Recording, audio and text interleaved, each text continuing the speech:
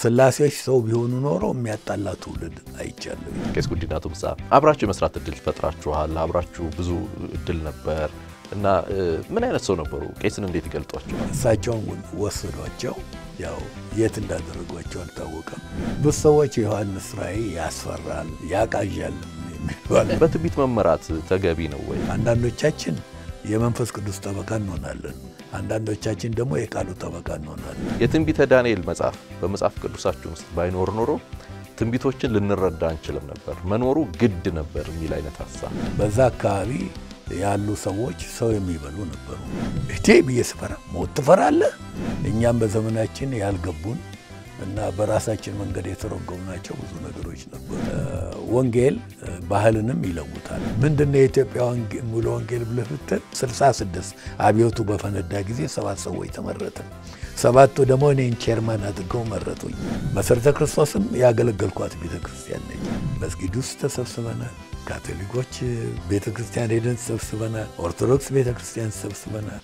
ፕሮቴስታንቱም የዛን ጊዜ ህንፃ ያላቸው ብዙዎች ያልነበሩ ያለው ቦታ ተሰብስበናል። ትልቅ ላይብረሪን ያገኘሁት በሁሉም አብያተ ክርስቲያናት ውስጥ አሻራቸው አለ ያልኩትን ይኸው እርሶም እየደገሙልኝ ነው። በእኛ ዘመን ወይ መሆን ነው ወይ አለመሆን ነው። ገረዛ አይጠቅምም ያለው ጳውሎስ ጢሞቴዎስን ገርዟል። ጢሞቴዎስን ገርዘዋል። ቄስ ጉዲና ትልቅ ራእይ የነበራቸው የእግዚአብሔር ሰው ናቸው። አብራችሁ ያገለገላችሁ አባቶችን ብዙ ጊዜ የማግኘት እድል አለኝ። ሳገኛችሁ ሚዲያ አትፈልጉም። የእኛ history የለም ያለው his story ሰላም ጤና ይስጥልን። የፕሮግራማችን ተከታታዮች ዘወትር በየሳምንቱ ማክሰኞና አርብ ምሽት በኤክሌሲያ ሚዲያ በኢትዮጵያ ሰዓት አቆጣጠር ምሽት ሁለት ሰዓት ላይ የሚተላለፍላችሁ ክያ show ጀምሯል።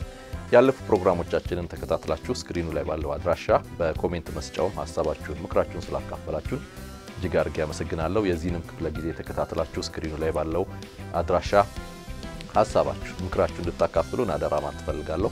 በተለይ ዘውትር እንደምናደርገው በቆይታችን መካከል premiere ኡ ላይ ስትከታተሉ ላይ ወይም ደግሞ የተጫነውን ስታገኙ በ comment መስጫው ላይ ስለ ጌታ ስለ ኢየሱስ ክርስቶስ በልባችሁ የተሰማችሁን ሀሳብ ወይም በልባችሁ ያለን ቃል እየጻፋችሁ እያካፈላችሁ አብራችሁ ቆይታ እንድታደርጉ አደራ ማለት ትፈልጋለሁ። ለዛሬ እንግዳ አድርጌ ጋበዝኩላችሁ በኢትዮጵያ ወንጌላውያን ቤተ ክርስቲያናት ታሪክ ውስጥ ጉልህ ድርሻ ካላቸው አባቶች መካከል አንዱን ዛሬ ጋብዤላችኋለሁ። አራት ያክል መጽሐፍትን እንደዚሁ ለቤተ ክርስቲያን አገልግሎት ስጦታ ሰጥተዋል። በቤተ ክርስቲያናት ታሪኮች ውስጥ ብዙ በርካታ ታሪኮች ውስጥ የራሳቸውን አሻራ አሳርፈዋል። ዛሬ ከኔ ጋር ልዩ ቆይታ እናደርጋለን። በቆይታችን እንደምትባረኩ እንደምትጠቀሙበት ተስፋ አረጋለሁ። የኢትዮጵያ ክርስቲያኖች ህብረት በቤተ ክርስቲያን ሂውስተን ቴክሳስ ያለችው የዛ ዋና መሪና መጋቢ የሆኑትን ፓስተር ዶክተር ተስፋ ወርቅነህን ጋብዤላችኋለሁ። እንደምትጠቀሙበት ተስፋ አረጋለሁ። አብራችሁን ቆዩ። ፓስተር እንኳን ደህና መጡ። እንኳን በሰላም ቆየ። ዛሬ ጉጉቴ በጣም ልዩ ነው። አንድ እንደው ራሱ ይሄ መባረክ ነው ብዬ አስባለሁ። አብሮ ራሱ ጊዜውን ማግኘቱ ማለት ነው። ሁለተኛ ተመልካቾች ብዙ ነገር እንደሚያገኙ ተስፋ አረጋለሁ። ልክ አንድ ትልቅ ላይብረሪን ያገኙ ያክል ስለሚሰማኝ እኔ ምክንያቱም በኢትዮጵያ ወንጌላውያን ክርስቲያናት ታሪክ ውስጥ በጣም በርካታ ቦታ ላይ የእርሶ ስም አለ። ዶክተር ተስፋ ዶክተር ተስፋ ዶክተር ተስፋ እና አንዳንዶቹን ዛሬ እንነካቸዋለን ከጊዜ አንጻር፣ አንዳንዶቹን ደግሞ በሌላ ጊዜ መልሰን እንዳሳቸዋለን ብዬ ተስፋ አረጋለሁ። እንደው ግን መነሻ እንዲሆነኝ የእናንተን ጄኔሬሽንም ነው የእናንተ አብራችሁ ያገለገላችሁ አባቶችን ብዙ ጊዜ የማግኘት እድል አለኝ። ሳገኛችሁ ሚዲያ አትፈልጉም፣ አትወዱም። ከስራው ጀርባ በጣም ብዙ ናችሁ።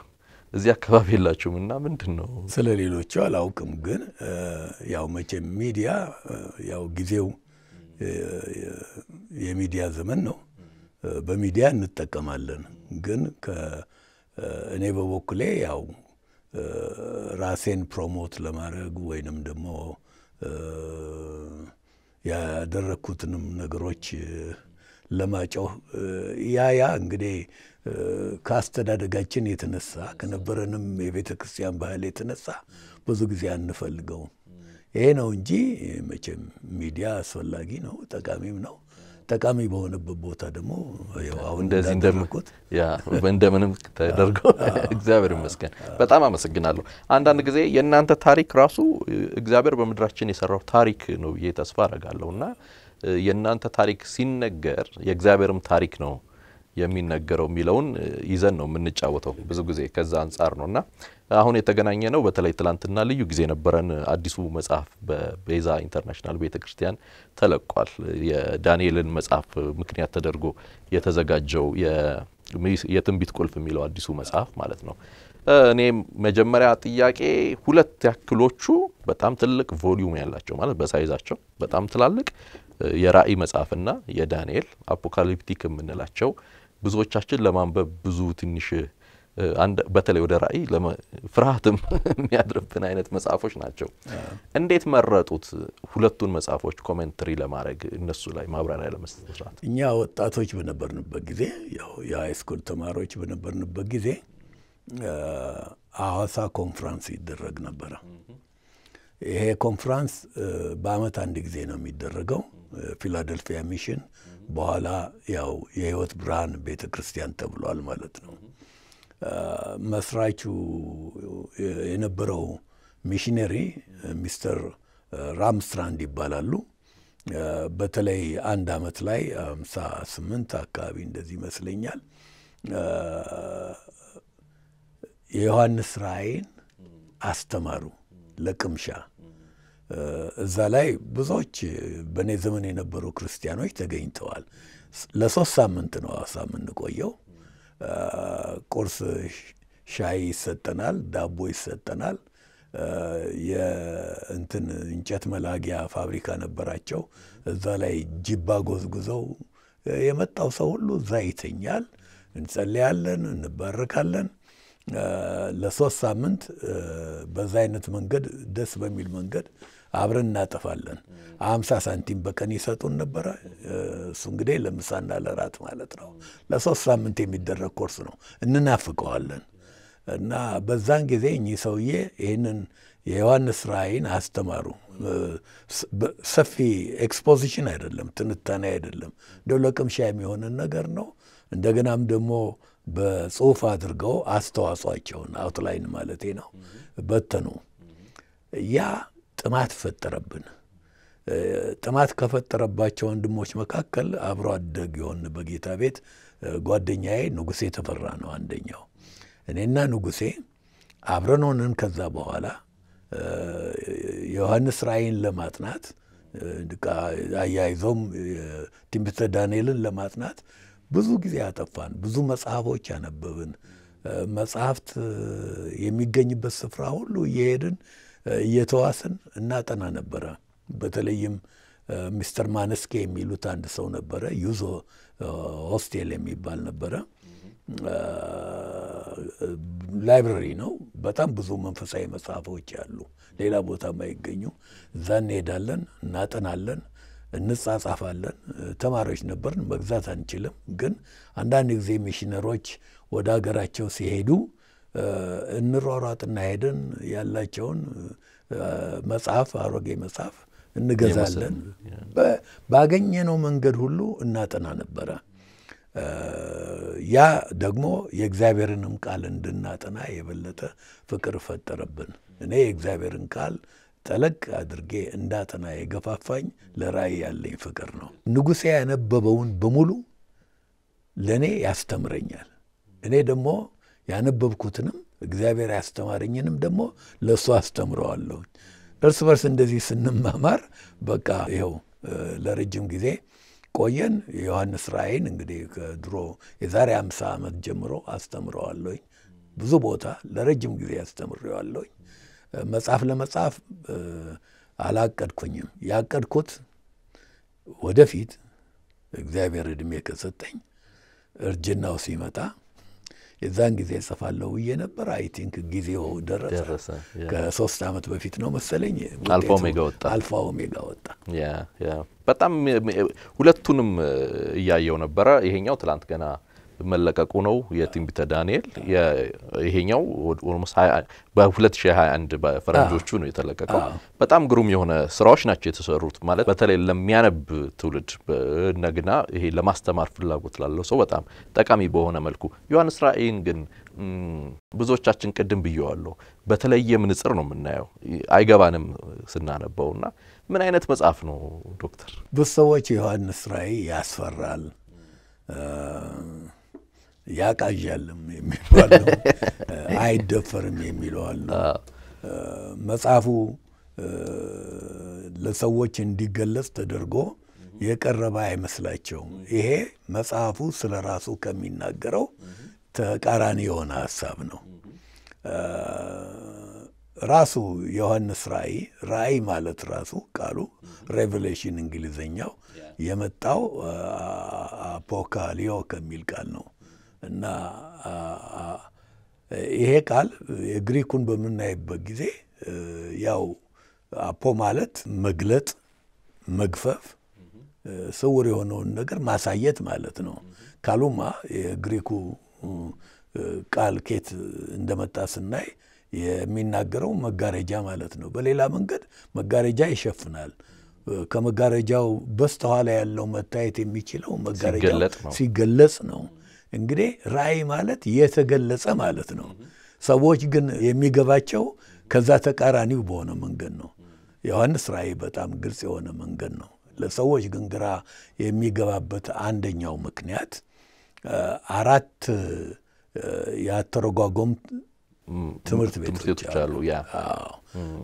እነኛ ሀሳባቸውን በራሳቸው መንገድ ስለሚጽፉ አንዳንድ ሰዎች ይሄንንም አንብበው ያኛው ደግሞ ሀሳቡ ሲለይባቸው ኮንፊውዝ ይሆናሉ። ሌሎቹ ደግሞ ስንፍና ነው። ስንፍና መቼም እሱ አስቸጋሪ አስቸጋሪ ነገር ነው እና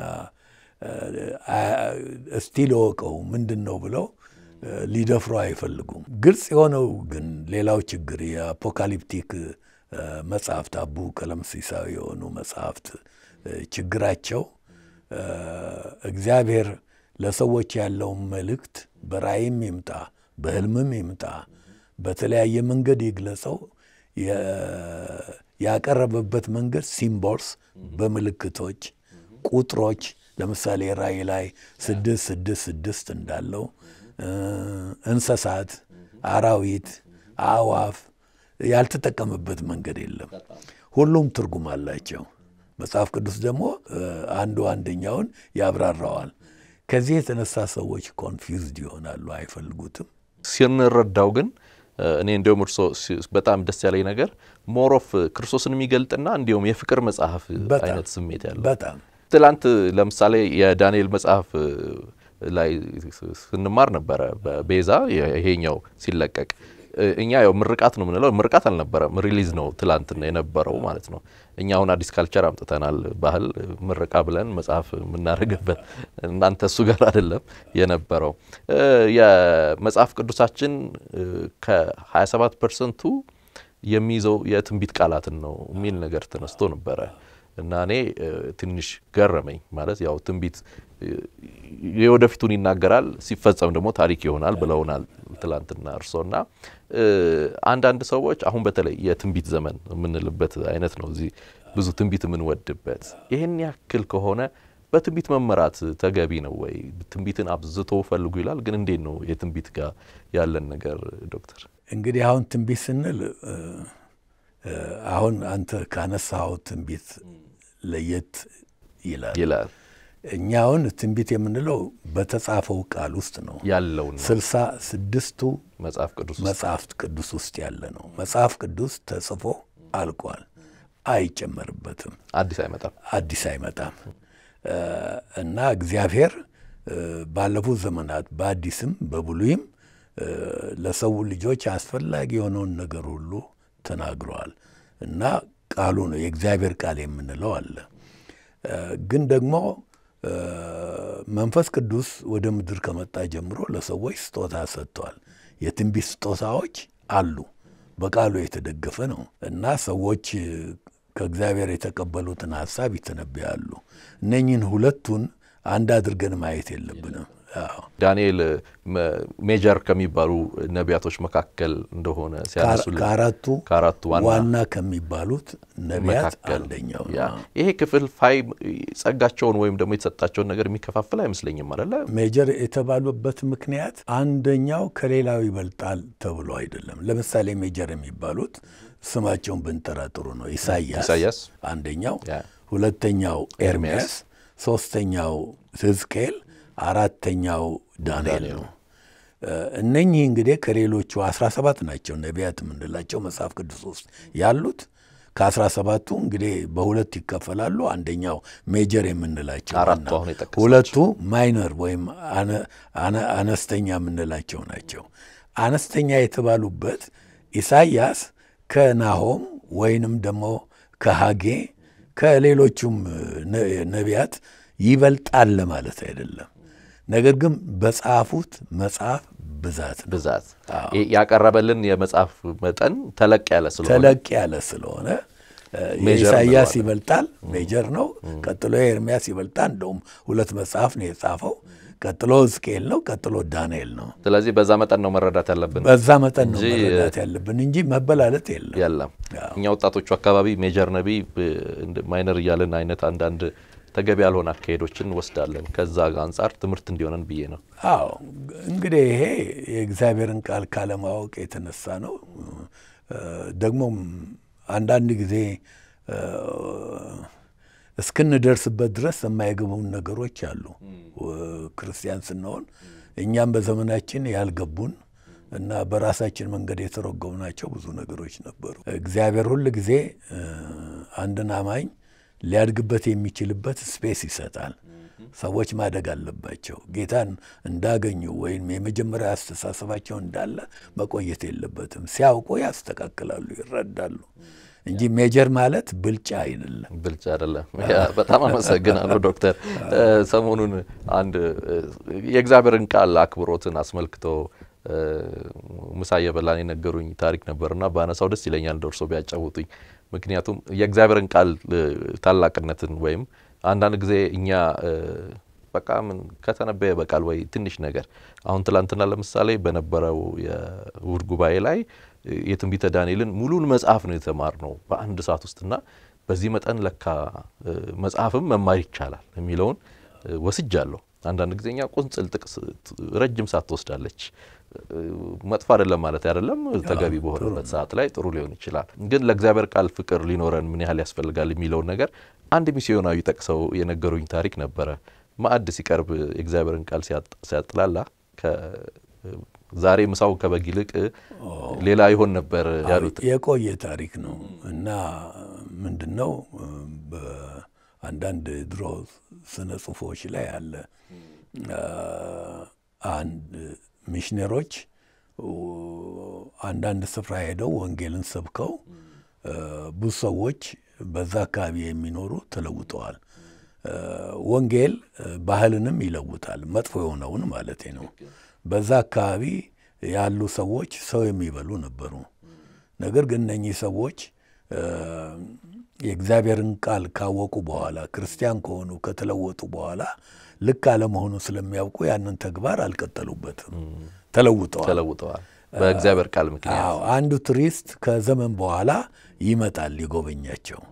ሲመጣ በአንድ ላይ ሆነው እነኛ ነገዶች ያንን ቱሪስት ተቀብለው በጋርደው ጠብሰው እንዲበላ እያደረጉ እየጋበዙት ሳለ ያ ቱሪስት ክርስቲያን አልነበረም። ይነቅፋል። ከሚነቅፈው ነገር አንዱ መጽሐፍ ቅዱስን ነው። እያጥላላ መጽሐፍ ቅዱስን ሲናገር ሰሙና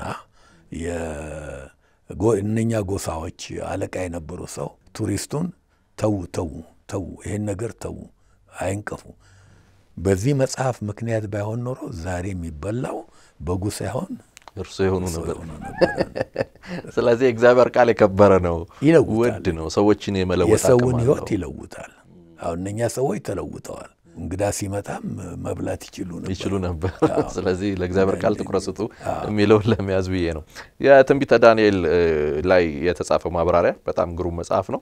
ብዙ እንትና የጻፉ ሰዎችን እዚህ ላይ ተመልክቻለሁ። መጽሐፉን ቀደም ብለው ያነበቡ ሰዎች የሰጡትንና በጣም ግሩም የሆነ ሀሳቦችን አካፍለዋል።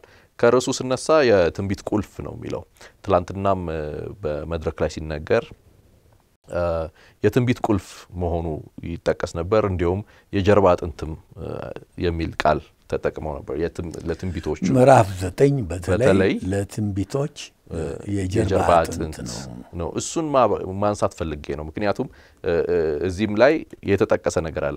የትንቢተ ዳንኤል መጽሐፍ በመጽሐፍ ቅዱሳችን ውስጥ ባይኖር ኖሮ ትንቢቶችን ልንረዳ አንችልም ነበር፣ መኖሩ ግድ ነበር የሚል አይነት ሀሳብ። የትንቢተ ዳንኤል መጽሐፍ የትንቢት ቁልፍ ነው የሚባልበት ዋናው ምክንያት ትንቢቶችን ሁሉ ለማብራራት ዳንኤል ላይ እግዚአብሔር በዳንኤል በኩል የገለጻቸው ሀሳቦች ቁልፍ ናቸው። አሁን የዓለምን ታሪክ አቅጣጫ ወዴትና እንዴት እንደሚሄድ በግልጽ የተጻፈው በዳንኤል ነው። ዛሬ ብዙ ሰዎች ሐሰተኛው ክርስቶስ እንደሚመጣ ይናገራሉ።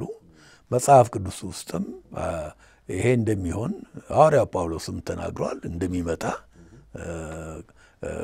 እግዚአብሔር ነኝ ብሎ የሚል ሰው እንደሚመጣ ተናግሯል። ቢሆንም ግን ሰፊ መረዳት ልናገኝ የምንችለው ዳንኤል ምዕራፍ ዘጠኝ ላይ ስለዚህ ሰው በገለጸው ነው።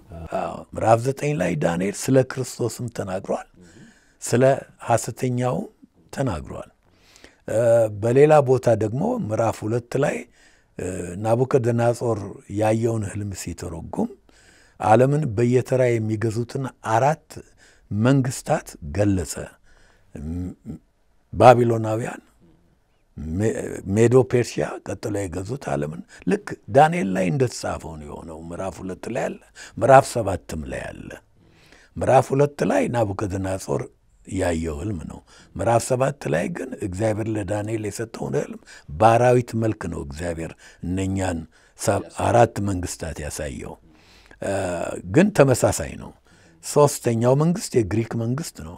ከሜዶ ፔርሺያ በኋላ ዓለምን የገዛው የግሪክ መንግስት ነው። ያው አሌክዛንደር በሰላሳ ዓመቱ ዓለምን ሁሉ አሸንፎ ድል አድርጎ ግሪክ ያው በዓለም ላይ ሁሉ ተጽዕኖ አምጥታለች አይደለም እንዴ? ቋንቋው ላይ Hellenization የግሪክን ባህል፣ የግሪክን ቋንቋ፣ የግሪክን አስተሳሰብ ሰዎች እንዲኖራቸው የሚያደርገው ተጽዕኖ መጥተዋል። እንደውም ግሪክ impact ኧ እስከ ዛሬም ድረስ ስላለ ሳይንስ ይሁን ሌላ ፊሎዞፊ ብናጠና የግዴታ ወደ ግሪኩ እንሄዳለን። ስልጣኔው ስለቆየ ጌታን በነበረበት ጊዜ ጭምር የነበረ ከመሆኑ የተነሳ አዲስ ኪዳናችንም የተጻፈው በግሪክ ነው።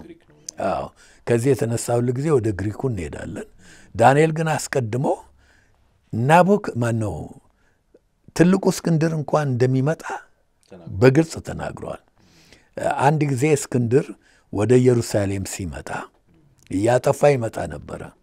ግን በጊዜው የነበረው ጆሲፈስ የተባለው አይሁዳዊ ታሪክ ጸሐፊ እንደተናገረው በ first century የነበረ በመጀመሪያው ምዕተ ዓመት ይሁዳ የተባለው ሊቀ ካህን አስቀድሞ ሄደና ተገናኝቶት ልብሰ ተክህኖውን ለብሶ ሌሎችንም ቀሳውስቶች አስከትሎ ሄደና ተቀበለው። ደግሞ ቀደም ሲል አሌክዛንደር ህልም አይቶ ነበረ። ጆሲፈስ እንደጻፈው እንዲህ ያለ ሰው በህልሙ ታይቶት ነበርና በመልካም ተቀበለው። ይሄ ሰውዬ ወሰደውና ወደ ቤተ መቅደሱ አመጣው። ካመጣው በኋላ የሰጠው የዳንኤልን መጽሐፍ ነው። ዳንኤል አሌክዛንደር ከመወለዱ ከሁለት መቶ ዓመት አካባቢ በፊት እንደሚመጣ በግልጽ ተናግሯል እና በግልጽ ስለተናገረ አመጣጡ፣ አሟሟቱ ይህ ሁሉ በግልጽ ተነግሯል እና ሲያሳየው አሌክዛንደር በጣም ከመደነቁ የተነሳ ለእስራኤል አምላክ ሁሉ ሰውቶ ሄደ። ኢየሩሳሌምንም አልነካም፣ አላጠፋም። ይህ ሁሉ በዳንኤል ውስጥ በግልጽ ተጽፏል። ቀጥሎ የሮም መንግስት ነው ዓለምን የገዛው ለረጅም ጊዜም የገዛው ይሄ ነው። ለብዙ ምዕተ ዓመታት ሮም ዓለምን ገዝታለች። እርግጥ ተከፍላ ነበር ሮም ለሁለት። የምዕራቡ መንግስት አለ ሮም ላይ የሆነ እንደገና ደግሞ ያው ኮንስታንቲኖፕል ቁስጥንጥንያ ዛሬ ኢስታንቡል የሚባለው ቦታ ያደረገው መንግስት ቆስጠንጢኖስ ነው ያንን ኢስታንቡልን ያቋቋመው በመጀመሪያ። አሁን በሁለቱ በድምሩ በምዕራቡም መንግስት በምስራቁም ይሄ የሮም መንግስት ከሌላው ይልቅ ረጅም ገዝተዋል። እነኚህን በግልጽ አይተናል። ደግሞ ያ ብቻ አይደለም። ናቡከደነፆር ህልም ላይ ጣቶቹ አሉ፣ አስር ጣቶች እነኛ ነገስታቶችን የሚያመለክቱ ናቸው። የእነኛ ህብረት መንገድ የሚጠርጉ ናቸው ለሚመጣው። ምዕራፍ ዘጠኝ ላይ የሚመጣው አለቃ ይለዋል። ያ የሚመጣው አለቃ የሚለው ሐሰተኛው ክርስቶስን ነው። እሱ መጀመሪያ ሲመጣ በሰላም ነው፣ ግን በኋላ አይሁዶችም ይቀበሉታል። ክርስቶስ መሲህ አሁንም እየጠበቁ ነው።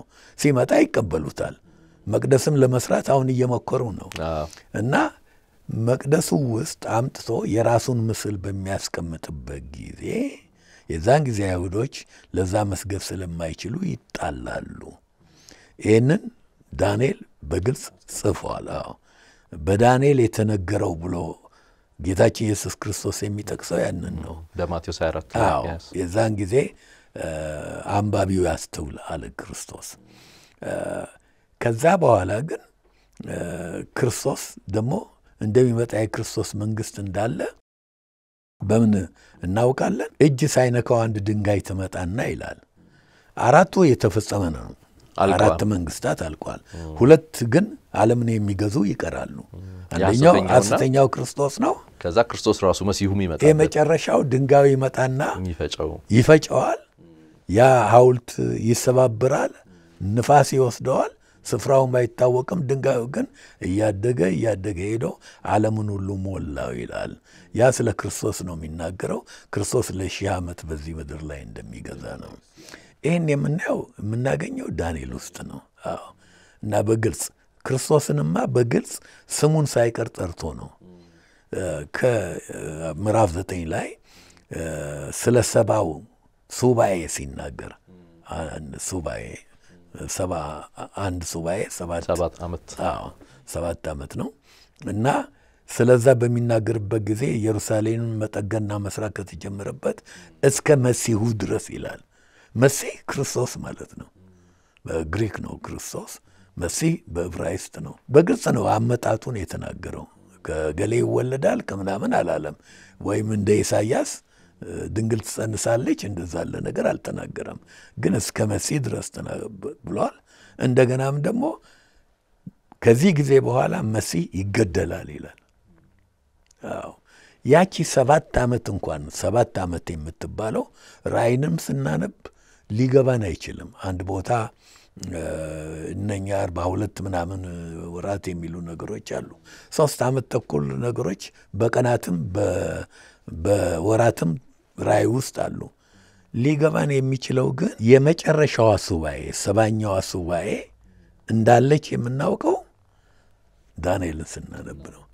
ይሄ ሁሉ ዳንኤልን አንብበን ካልገባን ዳንኤል ባይኖር አሉ ትንቢቶች ለመፍታት አይቻልም ነበር። ትላንትና በተለይ እርስዎ እያወሩ የእግዚአብሔርን ታላቅነት አደንቅ ነበር። ከአርባ በላይ የሆኑ ሰዎች የማይተዋወቁ አንዳንዶቹ በአካል በአንድ ሺ አምስት መቶ አካባቢ እድሜ ውስጥ አንዳቸው የአንዳቸውን ትንቢት አንዳቸው የአንዳቸውን ሁኔታ ወደፊት እየገለጡ እግዚአብሔር እኛ እድሜ ጋር እንደዚህ ተጠርዞ የተገኘበት ነገር ያየው የእግዚአብሔርን ነገር በጣም አደንቅ ነበር። ምን ያህል ታላቅ አምላክ እንደሆነ እግዚአብሔር ታላቅ ነው። እኔ እናንተ አሁን ሌሎች አስር ሰዎች ተጨምሮ አስራ ሁለት ሆነን አንድ ሀሳብ ላይ ብንጽፍ አንስማማም። ትክክል። አዎ ብዙ የአንዳችን ሀሳብ ሌላውን ሊያፈርስ ይችላል። ግን እነኚህ አርባ ሰዎች አይተዋወቁም። ደግሞም የኖሩበት ዘመን በአንድ ሺህ አምስት መቶ ዓመት ውስጥ በጣም ሰፊ ነው። አንድ ሺህ አምስት መቶ ዓመት ማለት አይተዋወቁም። የተለያዩ ሰዎች ናቸው። ግን የጻፉት መጽሐፍ ስልሳ ስድስቱ መጽሐፍ ቅዱስ ውስጥ ያሉ መጽሐፍት እርስ በርሳቸው አይጣረሱም። ምክንያቱ ለምንድን ነው ብለን ብንል እነኛን ሰዎች እግዚአብሔር መሳሪያ አድርጎ ተጠቀመባቸው እንጂ ደራሲው እነሱ አይደሉም። ጴጥሮስ ለዚህ መፍትሄ ሰጥቷል። ሁለተኛ ጴጥሮስ ምዕራፍ አንድ ቁጥር 21 ላይ ትንቢት ከቶ በሰው ፈቃድ አልመጣም፣ ቅዱሳን ሰዎች በእግዚአብሔር መንፈስ ተነተው ተናገሩት ይላል። ደራሲው መንፈስ ቅዱስ ስለሆነ መንፈስ ቅዱስ ከደረሰው እርስ በርሱ አይታረስም። በጣም ማለት እንዲህ እየጣፈጠን ደግሞ ሲሆን ደስ ይላል። እግዚአብሔር ይመስገን። እንዲህ ደግሞ የሚፈቱልን እንደዚህ አይነት መጽሐፎች ማግኘት ይበልጥ ነገሮችን እንድናይ ያደርገናል። እንደው ከጥያቄዎች ወጣ ብዬ አንዳንድ ሰዎች አሁን ያለንን ዘመን ይመለከቱና የሐሰተኛው ክርስቶስ መምጫ በዚህ በዚህ የሚመስል ነገር የሚል የሚያስቀምጡ አሉ። በተለያየ ጊዜ ትምህርት ሲሰጡ ዩቲዩብም አካባቢ እንደዚህ አይነት ነገር ይታያል። ለምሳሌ የገሌ ሀገርና የገሌ ሀገር ጥምረት የገሌ ሀገርና የገሌ ሀገር ጥምረት ወደዛ ሊወስድ ይችላል የሚል ነገር እንደዚህ አይነት ነገር አይተው ያውቃሉ? አለ እንግዲህ የእግዚአብሔር ቃል ዝርዝሩን አይሰጥም። ምን እንደሚሆን ግን እናውቃለን። ለምሳሌ ዮሐንስ ራእይ ውስጥ የተገለጹ ነገሮች አሉ። ምንድን ነው የመጨረሻው ጊዜ እንዴት ነገስታት አንድ ላይ ሆነው ተሰልፈው ኢየሩሳሌምን እንደሚከቡ የተጻፈ አለ። ግን እገሌና እገሌ አልተባለም። ያው የዓለም መንግስታት ሐሰተኛው ክርስቶስ ይገዛበት በነበረ ዘመን ስለሚሆን ክርስቶስ በሚመጣበት ጊዜ አርማጌዶን ላይ ለሚሆነው ጦርነት የሚሰለፉ የዓለም ሰራዊት በሙሉ አሉ። ግን እገሌና እገሌ ብሎ መለየቱ መጽሐፍ ቅዱስ ላይ አልተጻፈም። በግልጽ የተጻፈ ነገር ሲኖር ዳንኤል የገለጸው አይነት የግሪክ መንግስት ይላል። ስማቸውን እየጠራ ነው ቃል በቃል የባቢሎን ምን እያለ ነው የጠራው። ሮምን ብቻ ነው በስሟ ያልጠራት። አሁን ምዕራፍ ሰባት ላይ ምድር ላይ ባሉ አራዊቶች የቀሩትን ሶስት ገለጸና አራተኛዋን ሊገልጻት አልቻለም። እጅግ አስፈሪ የሆነች ይላታል። እሷን በስም አልጠራም እንጂ ግን እናውቃለን። በታሪክ ደግሞ አራተኛው መንግስት ዓለምን የገዛው ሮም ነው። እንደውም ክርስቶስ በተወለደበት ጊዜ አውግስጦስ ቄሳር ዓለሙ ሁሉ የህዝብ ቆጠራ ነበር እንዲጻፍ አዘዘ ይላል እና ሮም ዓለምን ገዝታለች።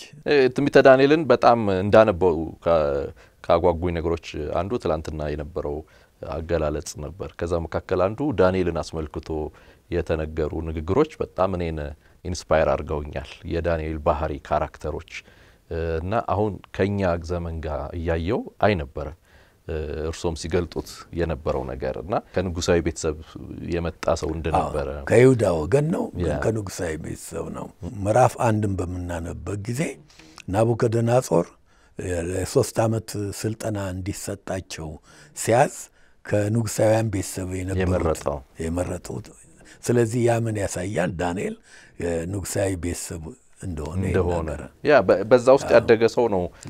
እግዚአብሔርን በመፈለግ ውስጥ የኖረው እና ራስ ወዳድ ያልሆነ ሰው ለሌሎች የሚራራ እንደነበር ማያመቻምች አይነት የተለያዩ ባህሪዎችን ትላንት ሲነገር ነበር። ከዛ መካከል እኔ እንደው ብናነሳው በጣም ደስ ያለኝ ይሄ integrity የሚባል ነገር በተለይ ለክርስቲያን ዋናና አስፈላጊ ነገር ይመስለኛል። አይደል ዶክተር? integrity ምንድን ነው ራሱ? ውስጥ እሱን አሁን ማስታወቂያ ታወጣለህ የአብይ ዳቦ ቤት ትላለህ። ዳቦ ቤት ሄደህ ስሙ ዳቦ ቤት ነው። ዳቦ ካጣ እንዴት ተስፋ ያስቆርጣል። በጣም integrity በኋላ አብራራዋለሁኝ ትርጉሙን። መገኘት ያለበት እግዚአብሔር ቤት ነው፣ የእግዚአብሔር ሰዎች ላይ ነው። የትም ፖለቲካው ኪሳራ ነው። ፖለቲካ ሰዎች መካከል integrity ባይገኝ ያው ባህሉም ነው ብዙ ሊጠበቅ ይችላል። አዎ integrity ላታገኝበት ትችላለህ። ግን ክርስቶስ በሚከበርበት በቤቱ ግን ባሉ በኖሩ ወይም እዛ ባሉ አማኞች መካከል ግን መታጣት የሌለበት ነገር ነው። integrity ምንድን ነው ብለህ ብትለኝ ቀጥታ ትርጉም ብሰጠው ሙሉነት ማለት ነው። ያንን ካልን ዘንዳ integrity የሚለው ቃል ራሱ የተገኘው integer ከሚለው የላቲን ቃል ነው። integer ምንድን ነው ብለህ ብትለኝ ቁጥር አስተማሪዎቻችን ሲያስተምሩን integer የምንላቸው ሙሉ ቁጥሮች ናቸው። አንድ ሙሉ ቁጥር ነው፣ ሁለት ሙሉ ቁጥር ነው፣ አምስት አስር የፈለገውን ቁጥር ጥራልኝ ሙሉ ቁጥር ነው የምንለው። እንግዲህ ይህንን ሙሉ ቁጥር አለ። ታዲያ ሌላ ቁጥር አለ እንዴ ብለህ ብትል sure ሂሳብ ላይ ስንማር decimal አለ። decimal ጎዶሎ የጎዶሎ ነገር ነው። አሁን ነጥብ አርባ ማለት አርባ ሳንቲም ነው አይደለም? አንድ ብር አይደለም፣ ስልሳ ሳንቲም ይጎለዋል።. ነጥብ አምሳ ቢል ስንት ይጎለዋል? አምሳ ይጎድለዋል። አምሳ ይጎለዋል። fraction ም አለ። አንድ አራተኛ ማለት ስንት ይጎለዋል? ሶስት አራተኛ ይጎለዋል።. integrity ግን integer ግን ሙሉ ቁጥር ቁጥር እንግዲህ integrity ማለት ሙሉ ማለት ነው። ያም ማለት ምንድን ነው?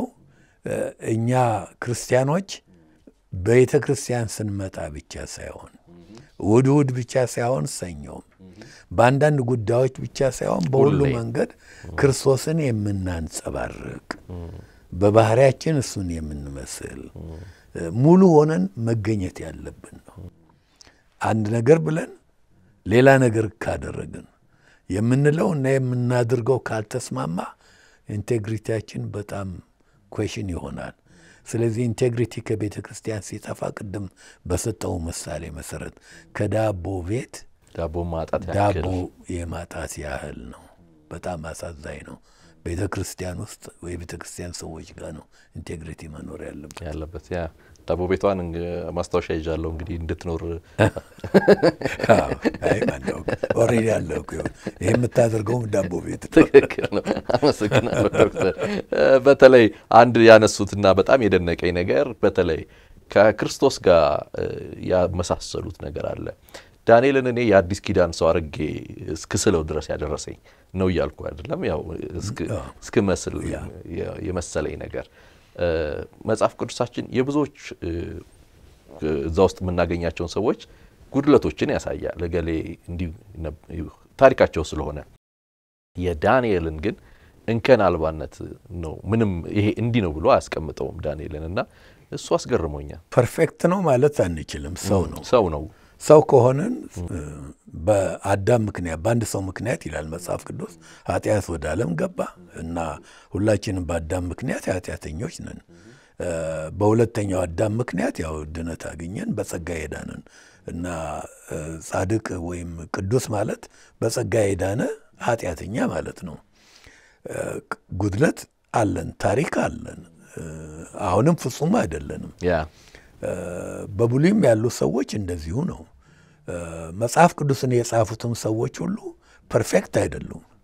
አንድ የሆነ ነገር ግን የእግዚአብሔር ሰዎች ናቸው። ብዙ ዋጋ የከፈሉ ለእግዚአብሔር ያደሩ በመንፈስ ቅዱስ የተመሩ ናቸው። እናደንቃቸዋለን። ግን ስጋ ለብሰው ምንም እንከን ኃጢአት ያልሰራ እንከን የማይገኝበት ንጹሕ ክርስቶስ ብቻ ነው። ክርስቶስ ፍጹም አምላክ ነው፣ ፍጹም ሰው ሰው ነው። ሰው ሆኖ ወደ አምላክነት የተለወጠ አይደለም። አሁንም ደግሞ አምላክ ብቻ አልሆነም። ከትንሣኤ በኋላ ሰው መሆኑን አልተወም። ፍጹም አምላክ ፍጹም ሰው ብለን ነው የምናመልከው። okay፣ እሱ እንከን አልባ ነው። መጽሐፍ ቅዱስም ይናገራል አይደለም። በምንም ምክንያት ተፈትኖ እንኳን ኃጢአት ያልተገኘበት ነው። ሌሎቹ የመጽሐፍ ቅዱስ ደራሲ መንፈስ ቅዱስ ከመሆኑ የተነሳ ጉድለታቸውም እንኳን ሳይቀር አንዳንዶቹ ራሳቸው የራሳቸውን ጉድለት ጽፈውልናል። እንደ ሙሴ ያለው ማለት ነው። አብርሃም ያው እናውቃለን፣ የእምነት አባት ነው። ግን perfect ነው ማለት አይደለም። ጉድለቶች አሉ። ይስሐቅ፣ ያዕቆብ እየወረድክ ብትመጣ ሁሉም አዲስ ኪዳን ውስጥ ብትመጣ ትልቆቹ መሪዎች የሚባሉት እንኳን ጴጥሮስ፣ ጳውሎስ እዛው ራሳቸው በጻፉት መልእክት ውስጥ እና ወይም ሉቃስ በጻፈው የሐዋርያት ሥራ ውስጥ በሌላ ቦታ መገረዝ አይጠቅምም ያለው ጳውሎስ ጢሞቴዎስን ገርዟል። ጢሞቴዎስን እ፣ እና መጨረሻ ላይ እስር ቤት የገባውም ያው መቅደስ ውስጥ ራሱን ተላይቶ ከሌሎቹ ጋር ፕሬዠር ስለነበረበት መስሎ ገብቶ ነው አይደለም እንዴ? አለ ማለት ነው። ይሄ መቼም የሚጠበቅ ነው። የሚጠበቅ ሰው ነው። ስለሆኑ፣ ሰው ስለሆኑ ይሄ ሁሉ ተጽፎልናል ለትምህርታችን። ደራሲው መንፈስ ቅዱስ ስለሆነ ነው። ዳንኤል ላይ ግን ስናነብ ሌላም ቦታ አሁን ሕዝቅኤል ስለ እርሱ ተናግረዋል። ከኖህ እና ከሌላ ሰው ጋር አስቀመጠው እንጂ ደግሞም ያውቀዋል ዳንኤል ማን እንደሆነ። ሁለቱም ባቢሎን ነበሩ በአገልግሎት ምርኮኞች ሆነው ማለት ነው። እና ግን ዳንኤል ላይ በራሱም በጻፈው መጽሐፍ ይሁን መጽሐፍ ቅዱስ በጠቅላላው የተጻፈ አንድም እንከን የለም። perfect ነው ማለታችን አይደለም፣ ግን ምንም እንከን የማናገኝበት ደግሞ ከሁሉም የሚደንቀው መላእክት ራሱ ዳንኤልን በእግዚአብሔር የተወደድክ ይሉታል። ጸሎት እንኳን የተመለሰለት በእግዚአብሔር የተወደደ ከመሆኑ የተነሳ ጊዜ እኮ አልወሰደም። ገና ሲጸልይ ሳለ ወዲያው ነው ወዲያው ስለተሰማ እየበረርኩ መጣው ነው የሚለው። መንገድ ላይ of course ጦርነት ገጥሞ ትንሽ ዘገየው ይላል። እና እንደዚህ ያለ በጣም ጥሩ ጥሩ ለየት ያለ ሰው በተለይ ይሄ በእግዚአብሔር የተወደደ የሚለውን ነገር ሲያነሱ ራሳችንን አየሁ ማለት በተለይ በክርስቶስ እኛ በእግዚአብሔር የተወደድን ነን። ደግሞ እንደገና ዳንኤልን ተደጋግሞ ሲነገር የአማልክት መንፈስ ያደረበት የሚል ነገር ይነሳል። በተለይ መንፈስ ቅዱስ በሱ ላይ እንደነበረ የሚያሳይ ንግግር ነው እና እኛ አሁን መንፈስ ቅዱስን ተሞልተናል፣ መንፈስ ቅዱስ አለን፣ በእግዚአብሔር ተወደናል።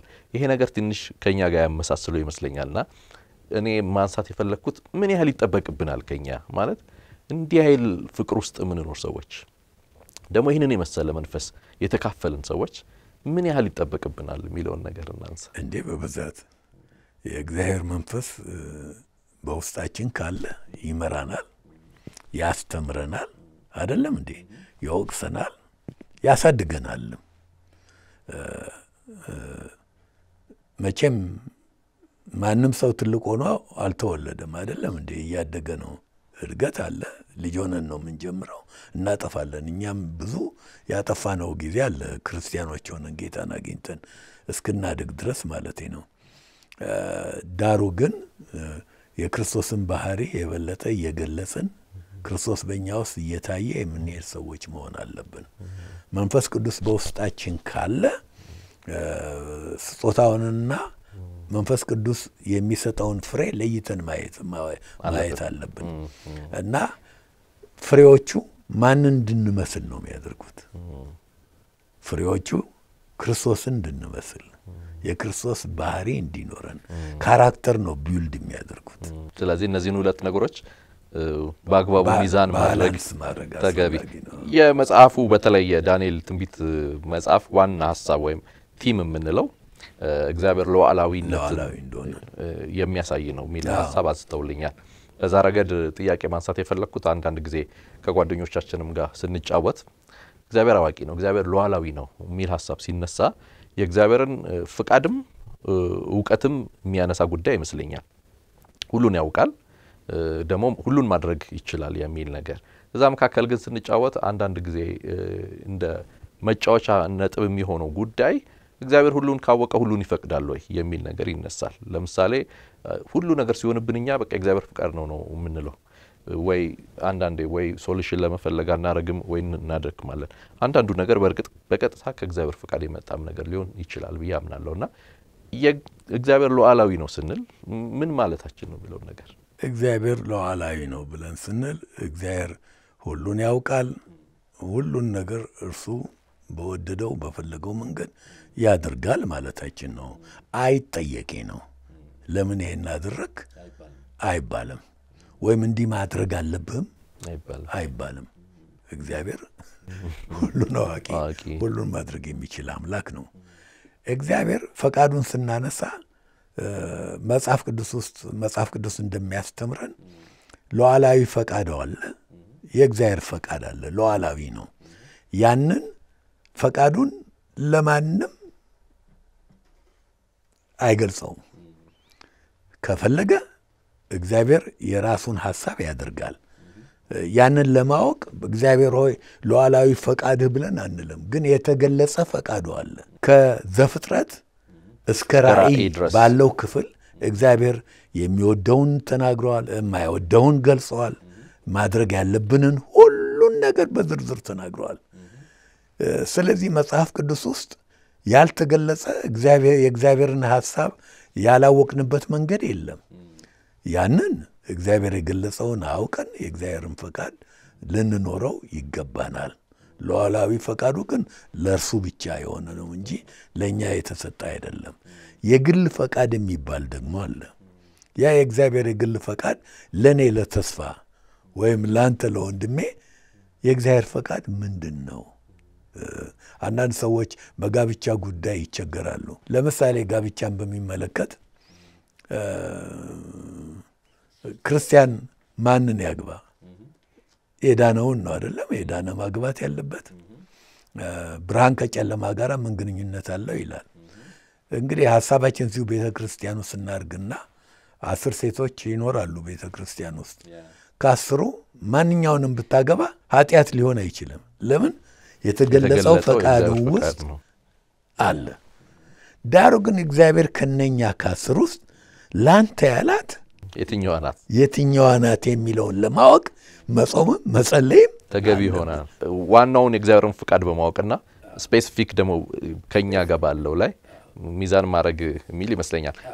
ዳንኤል ቅድም አንስቼው ነበር የማቴዎስ 24 ላይ ኢየሱስም ስለ ራሱ ሲናገር በተለይ ዳንኤልን የጠቀሰበት ነገር አለ እና በተለይ ደግሞ ብንጫወተው ደስ የሚለኝ ነገር ይሄ የሰው ልጅ ብሎ ያስቀመጠው ነገር ትላንትናም ሲናገሩ ዝም ብሎ የሰው ልጅ መሆኑን ከመግለጥ አንጻር ይልቅ ዳንኤልን quote ለማድረግ የሄደበት አካሄድ ነው ኢየሱስ ይህንን ሲጠቀም የሚል ሀሳብ አንስተውልኝ ነበር። ትላንት ያልኩት ቤዛ ኢንተርናሽናል መጽሐፉ ሲሰራጭ ኢየሱስም በብዙ መንገድ ገልጾታል። ዳንኤል ከገለጸበት መንገድ አንደኛው ምዕራፍ ሰባት ላይ የሰው ልጅ የሚመስለው ይላል። ለመጀመሪያ ጊዜም የተጠቀሰው ይሄ ቃል ዳንኤል ውስጥ ነው። ዳንኤል ሰባት ላይ ነው። የሰው ልጅ የሚመስለውን አመጡት በደመና እና እግዚአብሔር አብ ፊት ሲቀርብ ታያለ። ምዕራፍ ሰባት ላይ በግልጽ ተጽፏል። ጥንታዊ ጥንቱ ይለዋል። እንደውም መደበኛው ትርጉም ወደ ጥንታዊ ጥንቱ ቀረበ ይላል። ቀርቦ ስልጣን ሁሉ ነገር ተሰጠው ይላል እንዲገዛ። ይሄ እንግዲህ በብሉይ እኮ ነው፣ ገና ስጋ ሳይለብስ ነው። አዎ ተሰጠው ይላል። ወዲያው አልገዛም፣ ግን ወደፊት የሚሆነውን ሁሉ አስቦ እግዚአብሔር ለክርስቶስ የሰጠው ነው። ክርስቶስ ማን እንደሆነ የምናይበት ቦታ ነው። ያ ከስጋ ከመልበሱ በፊት ቀርቦ አባቱ ፊት ጥንታዊ ጥንቱ ጋር ቀርቦ ይላል። አሁን አዲስ ኪዳን ውስጥ ኢየሱስ ክርስቶስ ራሱን አብዛኛውን ጊዜ የጠራው የሰው ልጅ ሲል ነው። የሰው ልጅ በሚልበት ጊዜ እኔ ከሰው በመወለዴ ሰው ነኝ ብሎ መጥቀሱ አይደለም። አብዛኛዎቻችን የሚመስለን ያንን ነው። ግን እኔ ዳንኤል ሰባት ላይ የተጠቀሰው ያ ከአባቱ ስልጣን የተቀበለው የሰው ልጅ የተባለው ነኝ ማለቱ ነው። መለኮታዊነትን መግለጹ ነው። ተመልካቾች በተለይ አዲስ አበባ ኢትዮጵያ አካባቢ ካላችሁ ቤዛ ኢንተርናሽናል ቤተ ክርስቲያን እና በየመጽሐፍት መደብሩ የትንቢት ቁልፍ የትንቢት ዳንኤል መጽሐፍ ትንታኔ ታገኙታላችሁ። የራእይንም ትንታኔ ላይ እንደዚሁ ታገኙታላችሁ። ከኢትዮጵያ ውጭ ያላችሁ በተለይ ሂውስተን ቤተ ክርስቲያን እንደዚሁ በዛም ልታገኙት ትችላላችሁ። ላነሳ የፈለግኩት በጣም ደስ የሚል ነገር ነው። ምክንያቱም ከእናንተ መማር አለብን ብዬ ከማምናቸው አንዳንድ ነገሮች መካከል አንዱ ዋኖቻችሁን ምሰል ስለሚል መምሰል አለብን ብዬ ከምልበት ነገር አንዱ ይሄ መጽሐፍ ረጅም ጊዜ ነው የፈጀው። ብዙ ዋጋ ተከፍሎበታል። ማለት መጽሐፍ እንዴት እንደሚዘጋጅ ስለማወቅ ያንን ሁሉ process አልቆ ተዘጋጅቶ አምስት ሺህ ኮፒ እናንተ ራሳችሁ አሳትማችሁ አምስት ሺውንም ለቤዛ ኢንተርናሽናል ቤተ ክርስቲያን በስጦታ ነው የተደረገው የተሰጠው። ቤተ ክርስቲያኗ እያሰራች ላለችው በጣም ትልቅ ፕሮጀክት ለዛ እንዲሆን የተደረገ ነው። ይሄ ብቻ አይደለም። የራእይ መጽሐፍንም ልክ እንደዚሁ ረጅም ጊዜ process አልቆ ተዘጋጅቶ አዋሳ ለሕይወት ብርሃንና ለሙሉ ወንጌል ነው ስጦታ የተሰጠው። ከዚህ በፊትም ሁሉ መጽሐፍቶች ዶክተር ተስፋ ካዘጋጁ ስጦታ ናቸው። ይሄ እንዴት ነው? ምን አይነት አስደናቂ ህይወት ነው? ከዚህ ምን እንማራለን? እንግዲህ እግዚአብሔር እኔ ያስተማረኝን ነው እግዚአብሔር ቤት ሆኜ የሰጠኝን ነው really እኔ ለራሴ ሌሎችን ምርጫቸውንም ድርጊታቸውንም መንቀፊያ አይደለም። ለእኔ ለራሴ እኔና ባለቤቴ መጽሐፍ ጽፈን ከመጽሐፍ ጥቅም ላለማግኘት ወስነናል። ድሮ ወጣት ሆነን ነው። ስለዚህ የመጀመሪያው መጽሐፌን ለቤተ ክርስቲያኔ ነው የሰጠሁት፣ ለሙሉ ወንጌል። ሁለቴ ሶስት ያሳተመው ተጠቅመውበታል። መንፈሳዊ እድገት ምትል ነች። ሁለተኛ መጽሐፍ በዘጠና ውስጥ የተጻፈች ነች። ክብርት ቤተ ክርስቲያን የምትል ነች። በተለይ ስለ አጥቢያ ቤተ ክርስቲያን ጥሩ መረዳት የምትሰጥ ትንሽ መጽሐፍ ነች። እሷን ለቤዛ church ነው የሰጠሁት። እዚህ ከተማ የተሰራጨው ድሮ ቆይቷል። አሁን ደግሞ ጋሽ ሚሊዮን ስለጠየቀኝ ለጋሽ ሚሊዮን ፈቃድ ሰጥቼው አሁን ደግሞ አሁንም ሳንቲም ይመስገን። ያው የእሱ ሚኒስትሪ ይጠቀምበታል፣ ሰጥተናል። ይሄ አልፋ ኦሜጋ የሚለውን መጽሐፍ ጽፌ ሂውስተን ለምትገኘው ለማገለግላት ቤተ ክርስቲያን ነው የሰጠሁት። እነሱ ከሽያጭ የሚገኘው ሁሉ ወደ ቤተ ክርስቲያን ይሄዳል። ግን በተራ ደግሞ ኢትዮጵያ የሚገኙትን አብያተ ክርስቲያናት እንዲባርኩ ጠይቄያቸው ቤተ ክርስቲያናችን መጽሐፉን በራሷ ገንዘብ አሳትማ አዋሳ ለሚገኘው ምክንያቱም ቅድም ነግሬያለሁኝ ይህን እውቀት መጀመሪያ ጥማቱን ያገኘ ነው ሐዋሳ ነው። ስለዚህ ምክንያት አለው። የማደርገው ነገር ሁሉ ምክንያት አለው። ለሐዋሳ ቤተ ክርስቲያንና ደግሞ የራሴ ቤተ ክርስቲያን ነች። ብዙ ጊዜ ከደቡቦች ጋር አብረን አገልግለናል። ለደቡብ ውስጥ ሐዋሳ ለምትገኘው እነ ተስፋዬ ጋቢሰው ለሚያገለግሉበት ቤተ ክርስቲያን በራሳችን ገንዘብ አሳትመን ሰጠን። ያ ብቻ አይደለም ያደረግነው። አሁንም ደግሞ ፈቃድ ሰጠን። ሰፈረ ገነትም አሳትሞት ሽያጩን ተጠቅመዋል። የሰፈረ ክርስቶስ ገነት ቤተ ክርስቲያን ምንድነች? የሰፈረ ገነት ቤተ ክርስቲያን ላንተ ብለህ ብትል እኔ የሰፈረ ገነት ቤተ ክርስቲያን አባል አይደለሁም፣ ግን የዳንኩት ፊንላንድ ሚስዮን ነው። ፊንላንድ ሚስዮን ነው በኋላ ሰፈረ ገነት የተባለው። ምክንያቱን ያስከው አይደለም። ስለዚህ ምክንያት ነው። ከዛ ደግሞ የኢትዮጵያ ሙሉ ወንጌል። የኢትዮጵያ ሙሉ ወንጌልም እንዲሁ አሳትመው እንዲጠቀሙ ሰጥተናል። ይሄ አልፋ ኦሜጋን ምንድን ነው የኢትዮጵያ ሙሉ ወንጌል ብለህ ብትል መጀመሪያ ሲመሰረት ከተመረጡት ሰባት ተመራጮች ስንመሰርት የኢትዮጵያውን የወለደችው ቀጠና ሁለት የምትገኘው የእኛ ቤተ ክርስቲያን ነች። ይህን ስንመሰርት ስልሳ ስድስት አብዮቱ በፈነዳ ጊዜ ሰባት ሰዎች ተመረጥን። ሰባቱ ደግሞ እኔን ቼርማን አድርገው መረጡኝ እና የመጀመሪያው ቼርማን ሆኜ ለዚህ አሁን ትልቅ ለሆነው ትንሹ አጀማመሮ ላይ ቤተ እምነት ስለዚህ ለእነሱም ሰጠውኝ። ከዛ በኋላ ካናዳ ፈለጉ። ቫንኩቨር ቤተ ክርስቲያን ብዙ ጊዜ ሄጄ አገልግያለሁ። አሳትመው እነሱም ወደ እኔ ኪስ የሚመጣ ነገር የለም። አሳትመው እነሱም ተጠቀሙ ወይም የእግዚአብሔርን ስራ ሰሩበት። whatever እኔ የምቆጣጠረው ማየው ነገር የለም። አሁን በቅርቡ ኔዘርላንድ እንደገና ይህን መጽሐፍ አሳተሙት። አሁን በዚህ ዓመት አልፋና ኦሜጋ። አልፋና ኦሜጋ። እንደውም አሳትመው ስድስት church ኦች አንድ ላይ ሆነው ኮንፍራንስ አድርገው በአውሮፓ ለማሰራጨት እኔን ጠርተውኝ ከ15 ቀን በፊት ኔዘርላንድ ነበርኩኝ። እና የምንሰጠው ለ church ነው። አሁን ይህንን መጽሐፍ ለቤተ ክርስቲያኔ ሰጠው። ቤተ ክርስቲያኔ ደግሞ ጠየኳቸው። በየጊዜው እንዲህ ያለ እድል ሲኖር እንባርክ ኢትዮጵያ የምትገኘው ቤተ ክርስቲያን እናስብ። እኔ ደግሞ ያገለገልኩት እዚህ ሀገር ስኖር አንድ ቤተ ክርስቲያን ብቻ አይደለም፣ ሁሉንም ነው። እኔ ሁሉንም አባልነቴ ሙሉ ወንጌል ነው። ግን በዛን ዘመን በጣት ከሚቆጠሩ አገልጋዮች ሁሉም church በሁሉም መድረክ በሁሉም ቤተ እምነት ከሚቆሙት መካከል አንዱ እኔ ነበርኩኝ እና ሁሉም ቦታ የትም የትም እና ስለዚህ ተራ በተራ ያው ለሁሉንም እናዳርሳለን። ለአሳተም ነው እኛ ለአንድ መጽሐፍ የከፈልነው ሶስት መቶ ብር ነው ለማሳተም አንድ ነጥብ አምስት ሚሊዮን ብር አውጥተናል። አምስት ሺውን ለማሳተም ለቤዛ ሌላ ደግሞ አንድ ሺህ አሳትመን አሁንም እኛው ከፍለን ለመሰረተ ክርስቶስ ቤተ ክርስቲያን እንደውም መሰረተ ክርስቶስም ያገለገልኳት ቤተ ክርስቲያን ነች። ለእኔ ሁሉም እዚህ ሀገር ያሉ ቤተ እምነቶች ስሜት አለኝ ለሁሉም የኔ ናቸው። በቻልኩ ጊዜ መጽሐፍ በእኛ ቤተ ክርስቲያን ከቻለች የዚሁ አይነት ነገር ይቀጥላል። እግዚአብሔር ይመስገን። በቃ በጣም ልዩ ህይወት ብዬ ያልኩት ይሄንን ነው። እንዴ ይሄን ብንቀዳ ይሄንን ብንካፈል ብዬ ነው እና መግቢያ ላይ ስናገር ትልቅ ላይብረሪን ያገኘሁት በሁሉም አብያተ ክርስቲያናት ውስጥ አሻራቸው አለ ያልኩትን ይኸው እርሶም እየደገሙልኝ ነው። ሁሉም ጋር መኖሩን በተለይ የሙሉ ወንጌል ታሪኮች ጋር እመጣለሁ። ግን ከዛ በፊት በአነሳ ደስ የሚለኝ ጽሁፍና መጽሐፍ በተለይ መጽሐፍ ቅዱስ አካባቢ ያሉ ጉዳዮች የተጀመረው ዛሬ አይመስለኝም በዶክተር ተስፋ ምክንያቱም ትላንትናም ሲነገር ነበር። ትላንትና ቤዛ International በነበርንበት ሰዓት ላይ ዶክተር ቤተ መንግስቱ ያነሱት ነገር ነበር።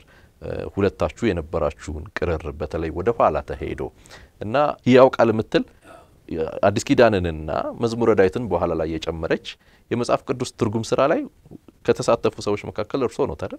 ናይሮቢ በነበርኩበት ጊዜ አንድ ትርጉም ነበረ፣ ቀደም ብሎ የተተረጎመ አዲስ ኪዳን ብዙ ለሰው የሚቀርብ አይነት ሆኖ አላገኘሁትም። እኔ ስራ ሲጀምር ከዶክተር ቤተ ጋር ስንነጋገር ይህን ይህን እንዳይለት ነበረ ሳየው፣ አይ ነገርኩት፣ ይሄኛው የሚቀርብ አይነት አይደለም። እስቲ ሌላ መንገድ እንሞክር፣ እስቲ አንድ ነገር ልሞክር አልኩና ፊልሞናን እኔ ራሴ ተረጎምኩለት። የ Living Bibles International ያተረጓጎም መርሆ አላቸው። ያን ተከትሎ ነው ግን ሙሉ በሙሉ መቶ በመቶ አይደለም። ምክንያቱም Living Bibles International አተረጓጎሙ thought for thought ነው፣ ሀሳብ ለሀሳብ ነው። Bible Society ስትመጣ dynamic equivalent theory የሚባል አለ። dynamic equivalent theory ምንድን ነው? ለዛ ቅጂ ከምታደርገው ትርጉም በዚህኛው ቋንቋ ተመሳሳዩን ፈልገህ መፈለግ ነው። Living Bibles ግን thought for thought ሀሳቡን ወስደህ በራሱ በዚህኛው culture በዚህኛው ቋንቋ ያንን ሀሳብ መግለጽ ነው። ቢሆንም ግን ሙሉ በሙሉ በዛኛው ሳይሆን አስታራቂ ባለው መንገድ ተርጉሜ ሳሳየው ወደደው። ከዛ በኋላ እንቀጥል ተባለና ጊዜም ነበረኝ ናይሮቢ ያለሁኝ ሁሉንም አዲስ ኪዳን ተረጎምኩኝ። እኔ የተረጎምኩትን እና አርመን ያደረግነውን ቃል ቄስ እዝራ የሚባል ኡፕሳላ የተባለ ቦታ የሚኖር ጥሩ የመካነ ኢየሱስ የነበሩ ቄስ አሉ። ግሪኩን በደንብ ያውቁታል። እሳቸውን ደግሞ ይሄ Living Bibles International ያው ተነጋግሮ እያስመጣናቸው ወደ ናይሮቢ አብረን ከግሪኩ አንጻር ፈተሽነው። እንደውም ያም አልበቃም። አብረን እኔና ዶክተር ቤተ ወደ አዲስ አበባ መጥተን ካደረግነው ነገሮች አንደኛው አማርኛው flow ጥሩ ለመሄዱ በጊዜው ዝነኛ እና ጥሩ ጸሐፊ የነበረ አማረ ማሞ የሚባል ሰው ነበረ። flow ውን አማረ ማሞ አየው። በኋላ ታተመች እና አዲስ ኪዳን ወጣ። ያ ሕያው ቃል የሚለው አዲስ ኪዳኑ እንግዲህ በእርሱ የተሰራ በእኔ የተሰራ በጣም የሚደንቅ ታሪክ ነው። እግዚአብሔር ይመስገን ማለት ይሄንን ያክል ማበርከት መቻል እኮ ትልቅ ነገር ነው። ቀላል አይመስለኝም። ያኔ ስትመጡ የገጠማችሁ ነገር ያስታውሳሉ ዶክተር? እንዴት ነበር አቀባበሉ? ትላንትና ዶክተር ቤተ ለመግለጽ ሞክረዋል። ምንድን ነው በአንደኛው ጊዜ እኔ ወደ አሜሪካ መሄዴ ሲታወቅ አንድ ጊዜ እንሂድና አንዳንድ ነገሮች አድርገን እንምጣ አለ። መጣን። ለስራ ነው የመጣ ነው። ፋይናል እንትኑን ጨርሰናል። የሚታተምበት ነው። እኔም መሄጃ ያቀርቧል። እንደውም ቪዛ ፓስፖርቴ ላይ ከተመታ በኋላ ነው የመጣው። ተው ሲሉኝ ቤተሰቦቼ እሱ እንዳለው መጣን። መጣን። ስንመጣ መጥፎ አጋጣሚው ምንድን ነው? እኛ ወደ አዲስ አበባ ስንገባ ሊቀመንበር መንግስቱ ደግሞ ወደ ናይሮቢ ይገቡ ነበር። ተቀያየራችሁ ማለት ተቀያየርን። አሁን ምን እንደተባለ አይታወቅም። እንግዲህ እዚህ ያለው የጸጥታ ክፍል የሆነ ነገር ሪፖርት አድርጓል። ሪፖርት ሰምተዋል እና ትላንትና ዶክተር ቤተ ራሱ ገልጾታል። እሱ ቢናገረው ጥሩ ነው። አብረን አለን እና የነበርነው ያረፍነው ሂልተን ሆቴል ነበረ። እሱም ራሱ በጊዜው ችግር ነበር ሂልተን ራሱ ማረፍ ሂልተን ማረፍ ራሱ ችግር ነበረው። አንድ ቀን እኔ ለጉዳይ ወጥቻለሁኝ። ዶክተር ቤትን ለካ አንጠልጥለው ወስደውታል። እኔ በቃ ምሽቱን ሁሉ ፈልገዋለሁኝ፣ አልመጣም። ይዘውታል፣ የጸጥታ ክፍል ወስደውታል። ያኔ ስንተኛ የሚባል ነበረ እዚህ ወደ ፒያሳ ይሆን ወደ ፒያሳ አካባቢ እንትን ነበረ። እዛ ወስደው እየመረመሩት ነው። አንድ ሰው ነበሩ፣ አቶ ሰይፉ የምንላቸው የዮናስ ሰይፉ አባት ናቸው። ለእኔም ጓደኛዬ ናቸው። እኔ ነኝ ያስተዋወቅኩት ከዶክተር ቤተ ጋራ በጣም ወዳጅ ነን። ወደ ጌታም ሲመጡ አብረን ጎረቤቴ ነበሩ እና እኔ እንደውም ቤት ሰርቼ የምንኖርበትን ቦታ ስለቅ እሳቸውና አንድ ሌላ ተስፋዬ የሚባል ሰው ነበረ። አቶ ተስፋዬ እና አቶ ሰይፉ ቤታቸውን ሽጠው ልንለያይ ስላልፈለጉ አብረውኝ መጡ ወደ Old Airport። ያን ያክል የምንቃረብ ነበርንና አስተዋውቄውም ስለነበረ አንዴ ናይሮቢ መጥተው ለእሳቸው ነገራቸው። እሳቸው በጊዜው አንዳንድ ነገር የማድረግ ችሎታ ነበራቸው። ልዩ ካቢኔ የሚባለው ውስጥ ነበሩ እና ሄደው በእሳቸው ዋስትና ቤተ መጣ። ግን የኔንም መኖር ያውቃሉ። ምን መመሪያ ሰጡት? አንተም እሱም ልትወጡ አትችሉም። ሂዱ ስንላችሁ ብቻ ነው ከዚህ ሀገር የምትለቁት። ያኔ የ exit ቪዛም ከገባ exit ቪዛም ማግኘት አለብን። ስለዚህ እኛ እስክንፈቅድ እዚህ ሀገር ቆዩ ቆዩ አሉ። አቤት አቤት፣ በቃ የገባ ነው ችግር። እሱ ነው ትላንትና ዶክተር ያነሳ። ምክንያቱም ወቅቱ የደርግ ነው፣ ኮሚኒዝም ነው። የደርግ ጊዜ አስቸጋሪ በእኔ case ደግሞ ልብ አድርግ እና already ወደ አሜሪካ ለመሄድ ቪዛ ሁሉ ፓስፖርቴ ላይ ተመትተዋል። ያ- ያ- በጣም አስቸጋሪ ነው።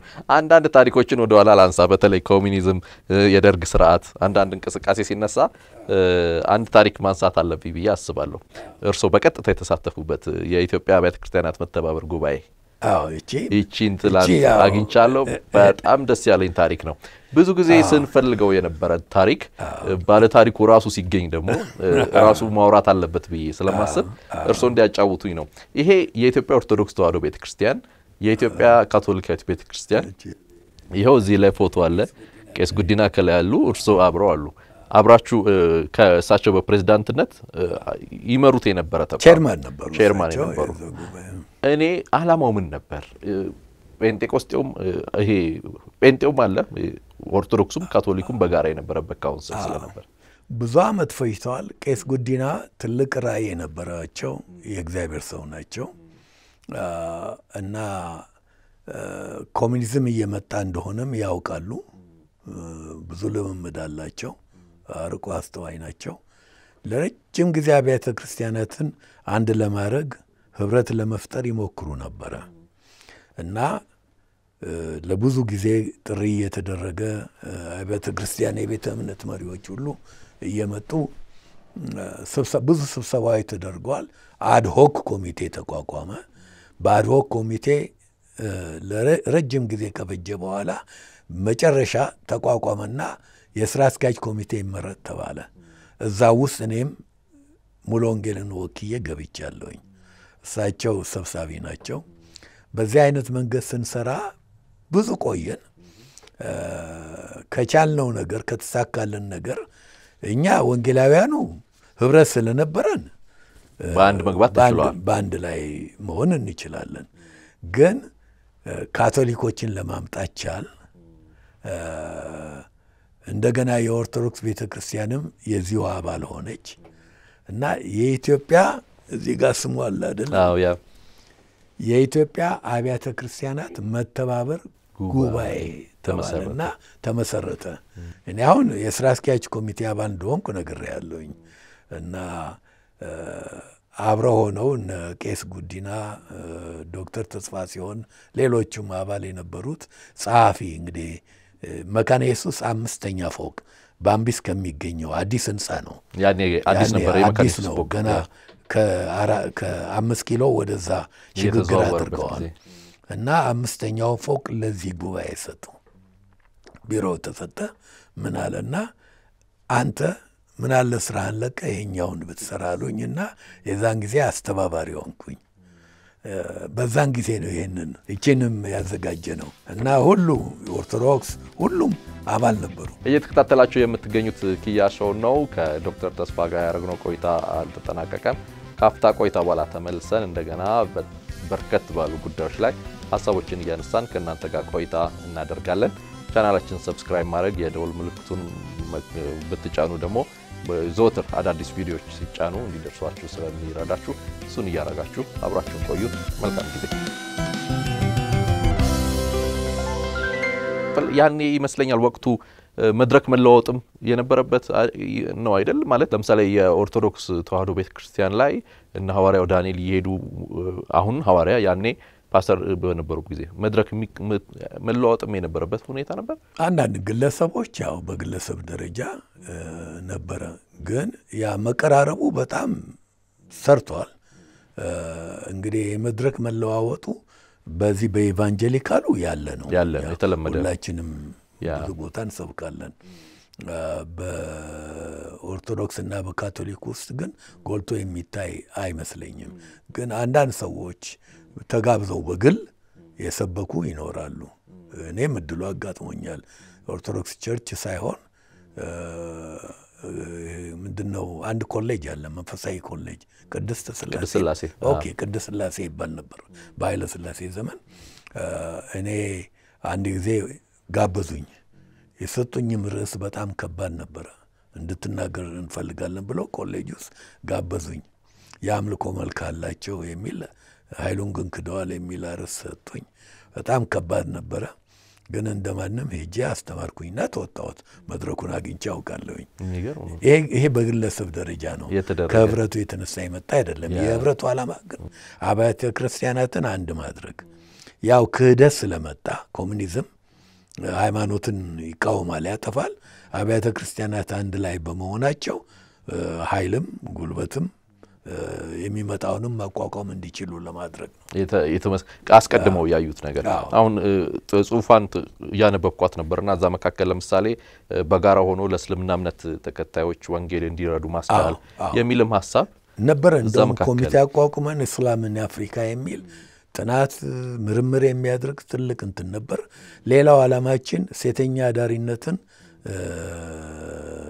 ማጥፋት ነበረ። እነኚህን ሴተኛ አዳሪዎችን ወስዶ በልዩ ሙያ እንዲሰለጥኑ በማድረግ ስራ እንዲኖራቸው ማድረግ ነበረ። ይህ ሁሉ ስራ ተጀምሮ ነበረ እና እርዳታም ከውጭም ከየትም እየተፈለገ እየተገኘ አዎ ይሄ ሆኖ ሳለ በፈረንጅ 1979 ይቅርታ አድርግልኝ፣ በአማርኛ ምናልባት በእኛ አቆጣጠር ሰባ ሰባ አንድ ወይም ሰባ ሁለት ሊሆን ይችላል። የወጣሁበትም ዓመት ያ ነው መጨረሻው አካባቢ ምን ሆነ? ቄስ ጉዲናን እኔ ሲንጋፖር ነበርኩኝ። ከዛም በኋላ ጀርመን ምናምን ተልኮ ነበረኝ ለስራ። እሳቸውን ወሰዷቸው። ያው የት እንዳደረጓቸው አልታወቀም። ብዙ ሰዎችም ያንተ ህይወት አደገኛ ነው ጥፋ ይሉኝ ነበረ። የዚህ አይነት ችግር የነበረበት ጊዜ ነው። መጨረሻው ላይ እኔ ለመውጣት ወሰንኩ። እግዚአብሔር ደግሞ የመውጫ መንገዱን አዘጋጀ። ስራ አገኘሁኝ። እኔ ወጣው። እኔ ስለቅ ያንን ቢሮ ጸሐፊ ነበረች ሙሉ ጊዜ። እንደውም የፓስተር በቀለ ባለቤት ወይዘሮ ገነት ነበረች። በመጽሐፍ ላይ ብዙዎቻችን በቄ ገነት ነበረች የቢሮችን ጸሐፊ ከእኔ ጋር የምትሰራው እና ቢሮውን በሙሉ እሷ አለች። ሌላ ሰው ከመሰረተ ክርስቶስ ነበረ ስሙ አሁን ከአእምሮ የጠፋ አሁንም ካናዳ ላይ ነበረ። እሱ ወሰደ። ሸምስዲን ይባላል። አሁን አቶ ሸምስዲን የኔን ቦታ ወስዶ ያንን ስራ እንዲሰራ ሁሉ ነገር እንዳለ ለእሱ አስረከብኩኝ። ሄድኩኝ። ከዛ በኋላ ምን እንደሆነ አላውቅም። እንዴት እንደጠፋም እንዴት እንደፈረሰም እንዴት አሁን exist እንደማያደርግም አላውቅም። ግን ቄስ ጉዲና ትልቅ ትልቅ ስራ እዛ ላይ ስራ ሰርተዋል። ቄስ ጉዲናን አስመልክቶ አንድ ሁለት ሀሳቦችን እንጫወታለን፣ በተለይ ብዙ ስለሚባል ጉባኤው ላይ ግን እኔ ጥያቄ ማንሳት የፈለግኩት አሁን አሁን ለምሳሌ የኢትዮጵያ ይህቺ ጥራዟ ላይ በዋናነት ክርስቶስ ኢየሱስን ከመስበክ አንጻር የተቀመጡ ሀሳቦች ስላሉ ሶስቱም አብያተ ክርስቲያናት በዚህ መሰረት ላይ እንደተመሰረቱ የሚገልጽ ስለሆነ ነው ይህንን ሀሳብ ማነሳው።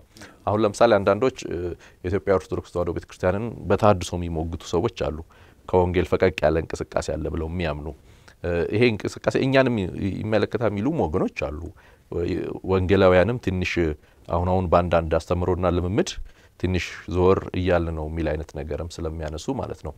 ይሄ እንቅስቃሴ ምናልባት ተጉዞ ዛሬ ላይ ደርሶ ቢሆን ይሄ council የኢትዮጵያ ቤተ ክርስቲያናት መተባበር ጉባኤ ዛሬ ላይ ሆኖ ቢሆን እነዚህን ዓመታት ተጉዞ የት መድረስ ይችል ነበር ብለው ዶክተር ያስባሉ? እስካሁን ድረስ exist ቢያደርግ ኖሮ ብዙ ነገሮች በእቅዳችን የነበሩ ነገሮች ሁሉ ተግባራዊ የሆኑ ነበረ።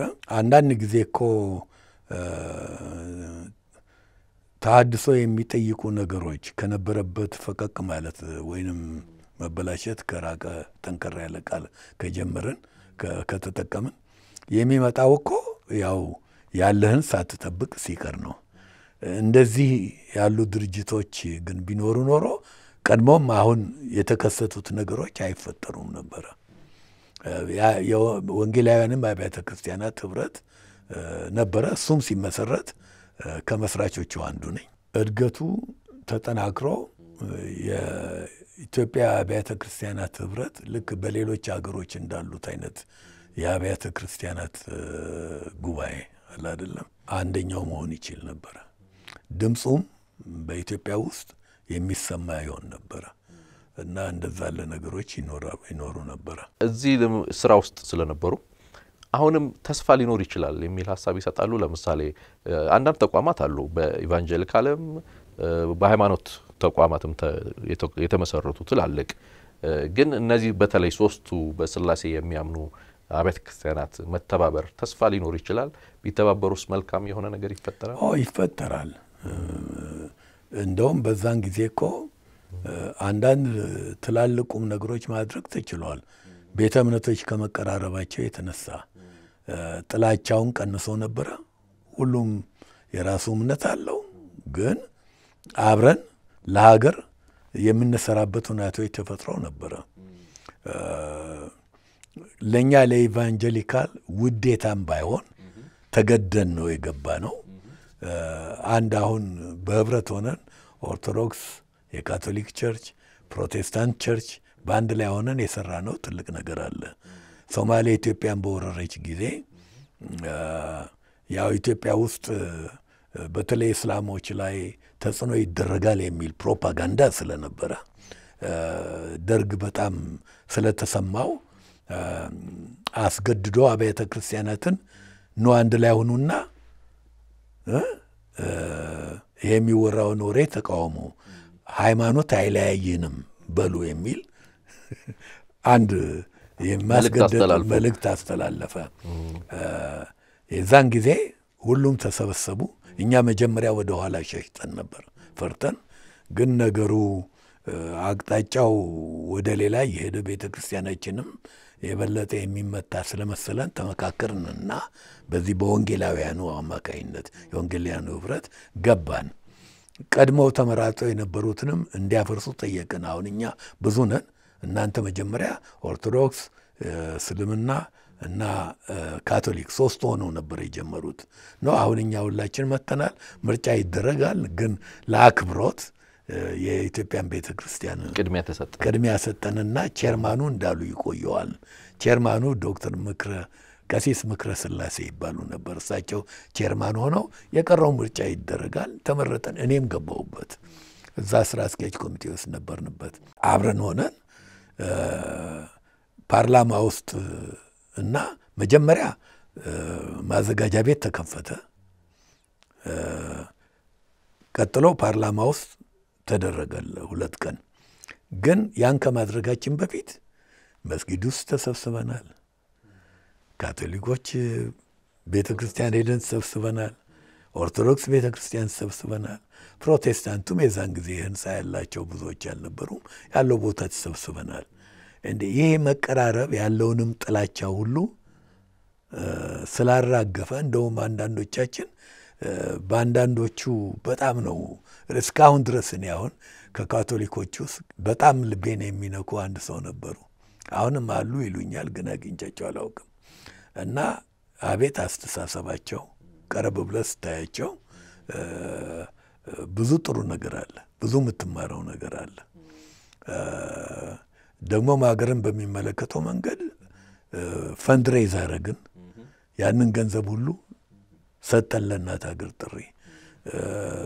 ስብሰባም ሀረር ውስጥ ተደረገ። ይሄ ሃይማኖት አይለያየን የሚለው አዲስ አበባ ተደረገ።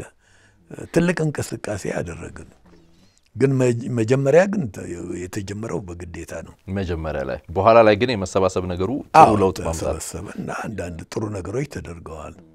መቼም ወደኋላ ሄድ ካልን እንዲህ የገንዘብ ማሰባሰብ ወይ ነገሮች ከተከሰቱ ጴንጤ ይፈለግ ነበር ይባላል። አዎ ምን ሆነ መሰለ፣ አንድ ታሪክ ልነግርህ ይችላለሁኝ። ማዘጋጃ ቤት ተከፈተና ጓድ እንዳለም ይባል ነበሩ የደርግ አባል የከፈቱት እሳቸው ናቸው። በጊዜው የነበሩት የኢትዮጵያ ኦርቶዶክስ ጳጳስ እኛ ባህታዊው ተክለ ሃይማኖት ነው እሳቸው አቡነ ተክለ ሃይማኖት ንግግር አደረጉ። ንጉሴ ተፈራን እንዲናገር እሱን ጠራ ነው እሱ አደረገ። ከዛ በኋላ ፓርላማ ገባን። ፓርላማ ውስጥ choir ኦች እንዲዘምሩ አደረግን። የሙሉ ወንጌል፣ የመሰረተ ክርስቶስ ነገሩ ለብዙ ሰዓታት ተካሄደ። እንደውም ለሁለት ቀን ይመስለኛል። ብዙ presentation ኦች ቀረቡ። ቀሲስ ሰለሞንም አቀረቡ። ሌሎች አባ ጸጋዬ ይባላሉ። እኛ የካቶሊክ አሁን የምፈልጋቸው ያሉት አባ ጸጋዬ ምን የመሰለ ነገር አቀረቡ። ብሮች ተሰበሰቡ። አሁን የሰበሰበው ብር በዣንጥላ ነበረ ሳይቀር፣ ግማሹ ወርቁን ሰጠ። እንደ ቀሲስ ሰለሞን ያለው ሀብላቸውን አውልቀው ሰጡ። ለእናት ሀገር የሶማሌ ጦርነት ስለነበረ ያ ያልተደረገ የለም። ብዙ ብር ነው የተሰበሰበው። ቆጠሩና ማታ ወደ ቤታችን ልንሄድ ሲሆን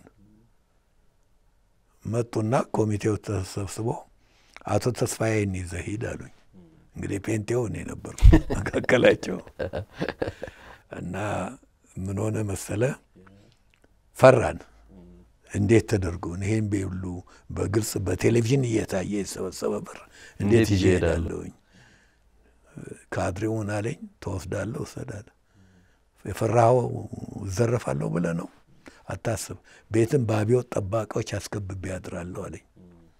እና ተሸክመ ተሸክሜ በመኪና ይዤ እኔና ባለቤቴ እንቅልፍ አልወሰደንም። ስንቆጥር ስንቆጥር ስንቆጥር አደርን። የቆጠሩትን ስተውናል ወረቀቱ። እንዳይጎድል ብለን ስንቆጥር ይበዛል፣ ስንቆጥር ይበዛል። እና እንግዲህ በትክክል አልቆጠሩም ማለት ነው። እና መጨረሻው ላይ የቆጠርነውን ይዘን ጠዋት ሲነጋልኝ Commercial Bank ሄድኩኝ። በዛ ድርጅት ስም ገቢ ባንክ ተደረገ። ለምን ወዲያው አይሰጥም። ቀን ቀጠሮ ተሰጥቶ ለጓድ ደበላ ዲንሳ ነበር የሚሰጠው የዛን ጊዜ እና የምናቀርበው ያንን ከማቅረባችን በፊት ባንክ ማስቀመጥ ስላለብን አስቀመጥኩና ሪፖርቱን አመጣሁኝ ስብሰባ ላይ ቆጥራችሁ የሰጣችሁኝ ይህን ያህል ብላችሁ ነው። ነገር ግን ብሩ ይህን ያህል ነው ባንክ የገባው ይኸው ደረሰኙ ብዬ ሳስረክብ እኛ የኦርቶዶክስ ቄስ ቀሲስ ሰለሞን ይባሉ ነበር። ያው የፍቅር አነጋገር ነው የዛን ጊዜ ነበረ። አቶ ተስፋ አሉኝ። አቤት እላቸዋለሁ። እኛም እኮ አውቀን ነው ብሩ ወደ አንተ ቤት ይሄድ ያልነው እንደሚጨምር ስላወቅን ነው። እናንተ በጣራ በኩል ይዘንባል ትላላችሁ። ያው እንደዚህ አይነት ነገሮች ጨዋታዎች ነበሩ። እውነት ነው። በተለይ ወደ ቅድም አንስተው ነበር ወደ ቄስ ልምጣና ቄስ ጉዲና ቱምሳ አብራችሁ የመስራት እድል ፈጥራችኋል። አብራችሁ ብዙ እድል ነበር እና ምን አይነት ሰው ነበሩ? ቄስን እንዴት ይገልጧቸዋል? ቄስ መቼም ልበሰፊ፣ አርቆ እ፣ ባለራዕይ የነበሩ ሰው ናቸው። ለኢትዮጵያ አብያተ ክርስቲያናት የነበራቸው ፍቅርና አብያተ ክርስቲያናት እንዲበረቱ እንዲጠነክሩ የነበራቸው ፍላጎት በጣም ልዩ ነው። ደግሞም አሁን መካነ ኢየሱስ hostel ትልቅ ስብሰባ ይደረግ ነበረ። ወጣቶች ለወጣቶች ተፈቅዶ ስብሰባ ይደረግ ነበር። እኛም ብዙ ይህንን ራእይን እዛ እኔና ዶክተር ንጉሴ የተፈራ አስተምረናል። አንድ chapter እሱ ሲያስተምር ቀጥሎ እኔ ሌላ chapter እየተቀባበልን ይሄ ሁሉ ሊደረግ የቻለው መካነ ኢየሱስ አካባቢ በቄስ ጉዲና ምክንያት ነው እና ቄስ ጉዲና ያው አብያተ ክርስቲያናትንም አስተባብረዋል። ደግሞም አንዳንድ ጊዜ እንዲህ ይላሉ። በቅርብ ለሚያውቋቸው አሁን ለእኔ ብዙ ጊዜ ነግረውኛል። አቶ ተስፋ መንፈስ ቅዱስ እኮ ለእናንተ በሞኖፖል አልተሰጠም። እናንተ ጴንጤቆስጤዎች ስለሆናችሁ አዎ ግቡ፣ በየቤተ ክርስቲያኑ ስጡ፣ ለሌሎችም ላልደረሳቸው አዳርሱ ይሉ ነበር። እንዲህ ያለ ሰፊ ልብ የነበራቸው ሰው ነበሩ እና ቆራጥ ናቸው፣ ደፋር ናቸው። አንድ ጊዜ አስተባብሉ አሏቸው። ጠርተው የደርግ አባላት ኢትዮጵያ ውስጥ ስደት አለ፣ የሃይማኖት ስደት አለ የሚል የእንግሊዝ አብያተ ክርስቲያናት ህብረት አወጣ መግለጫ። ያንን ደግሞ ሌሎች ተቀበሉና አጮሁት። ምክንያቱም በወቅቱ እናንተ የወንጌል መከራ አለ፣ ችግር አለ እና ይህንን አስተባብሉ። ኢትዮጵያ ውስጥ ምንም የሃይማኖት ችግር የለም፣ የታሰረም የተገደለም ምንም የለም። ይህንን ተናገሩ አሏቸው። ቄስ ጉዲና ምን የሚል መልስ ሰጡ? አልልም፣ አልሰጥም። የታሰሩትን የዛን ጊዜ ወለጋ ውስጥ የታሰሩ አሉ። ስም ልጠራልህ ይችላለሁ። በወንጌል ምክንያት የታሰሩ በወንጌል ምክንያት የታሰሩ እዚህ እዚህ ቦታ የታሰሩትን ፍቱና እናገራለሁ አሉ እና አንዳንድ ካድሬዎች ምን አሏቸው? ኖ ካላደረግ እኮ ሌላም ነገር አለ አሉ። ምንም ሞትም ቢሆን ግድ የላቸውም። እንደውም አንዱ ማስፈራሪያ ሰጣቸው። ከሞት በፊት እኮ ሌላም ነገር አለ አላቸው። ይህን መጥተው አጫወቱኝ። አንዳንድ ጊዜም በቃ information ያገኙና መኪናህን አታምጣ፣ ለወይዘሮ ውሂብ ስጣት፣ እሷ ይዛት ሂድ ወደ ቢሮ። ባንክ ያለህን ሂሳብ ሁሉ በእሷ ስም አስገባ እና ምናልባት መጥተውን የእናንተን ይወስዱናል ያሉኝ ጊዜ አለ። እኔ ደግሞ ገና ወጣትነት ወጣት ነኝ፣ ሰላሳ ዓመቴን እንደዚህ ነው የዛን ጊዜ እና ሁለት ህፃናት አሉኝ። እቴ ብዬ ስፈራ ሞት ትፈራለህ ይላሉ። እንደውም ብዙ ጊዜ በስብከታቸውም ተናግረውታል። ሌሎችም ሰው አንድ ሰው አመነ ማለት የሚቻለው ላመንበት ነገር መሞት ሲችል ነው ይሉ ነበር። ጀግና ናቸው። እኔ አደንቃቸዋለሁኝ እና ህይወቴን በብዙ መንገድ ሰፋ አድርጌ እንዳይ ያደረጉኝ እሳቸው ናቸው። ቄስ ናቸው። በተለይ ከአብያተ ክርስቲያናት አንጻር ያላቸውን ልበሰፊነት ሲነግሩኝ ደስ አለኝ። በጣም ልበሰፊ። ከሀገር አንጻርስ አንዳንድ ጊዜ አንዳንድ ሰዎች በሌላ መልክ ሊስቧቸው ሲፈልጉ እንመለከታለን። እንግዲህ መቼም አየህ ሰው ዝም ብሎ በሰው ላይ የሚለጥፈው እንትን አለ። መረጃ ካላቸው መረጃ ያውጡ። እኔ ቄስ ጉዲናን እስከማውቃቸው ጊዜ ድረስ የሚታሙት የሚወራባቸውን አይደሉም ብዬ ነው ማምነው። አይደሉም። ኢትዮጵያን ይወዳሉ። መቼም ሰው እያንዳንዱ ግንኙነት አለው፣ የመጣበት ጎሳ አለው። ያንን መሰረዝ ማንኛችንም አንችልም። መርጠንም በዛ አልተወለድንም። ደግሞ አንድ ሰው ወይ ልጁ ወይ ዘመዱ ወይ ወንድሙ አንድ ነገር ያደርጋል። አሁን በሳቸው የተከሰተ እንደዛ ያለ ነገር የሚታወቅ አለ። ምክንያቱም ወንድማቸው በፖለቲካ እንቅስቃሴ ስለነበሩ ላለ ማለት ነው ትክክል። የፈለግኩት ተመልካቾች ማያውቁ ካሉ እንዲረዱ ስማቸውን ጠርቼ መናገር እችላለሁኝ። ባሮ ቱምሳ ያው እንግዲህ ከዚህ ከዚህ የተነሳ ሊሆን ይችላል እንጂ እኔ ቄስ ጉዲና እግዚአብሔርን የሚወዱ ለቤተ ክርስቲያን የተሰጡ ሰውን ሁሉ የሚያቅፉና የሚቀበሉ ምንም አይነት ዘረኝነት የሌላቸው ትልቅ የእግዚአብሔር ሰው እንደሆኑ ነው ማውቀው እና ደግሞ እንደው ሰው የፈለገውን ይበል። እኔ እዛው ሳልገባ እስቲ ወደ ደግሞ ወደ ሌላኛው ደግሞ ትንሽ ልውሰድ ባለችኝ ታይም ብዙ ለማቃመስ ፍላጎት ስላለኝ ዛሬ ማታ በረራ አለ እሱን እያሰብኩ ነው። የኢትዮጵያ ወንጌላውያን አብያተ ክርስቲያናት ህብረት ምስረታ በተለይ ዛሬ ተደጋግሞ ጋሽ ንጉሴም እየተነሱ ነው። ጋሽ ንጉሴ ተፈራ ብዙ ሰዎች ያውቋቸዋል በሚዲያ ላይ ከእሳቸው ጋር የነበረውን ነገር ለማንሳት ፈልጌ ነው። ህብረቱ እንዴት ተመሰረተ? የኢትዮጵያ Evangelical Church Association ወይም ፓስተር ጻድቁ fellowship አሁን fellowship ነው የሚሉት። okay አሁን ፓስተር ጻድቁ የሚመራው ለአመሰራረቱ credit መውሰድ የሚገባው World Vision ነው። World Vision በቀጥታ ይህንን ህብረት አላቋቋመም። World Vision ለፓስተሮች ትልቅ ኮንፍራንስ አዘጋጀ፣ ናዝሬት Bible Academy። ያንን ኮንፍራንስ ለማዘጋጀት አቶ ሙላቱ ይባል ነበር፣ ዛሬ ዶክተር ገስታውስ ምናምን አለው አቶ ሙላቱ ብላቸው ካወቅ እሱ ነበረ እዛ World Vision ሰራተኛ። የኔም ባለቤት እዛ የመጀመሪያ ጸሐፊ ነች። እዛ ነበር የምትሰራው። ምን አዘጋጁ?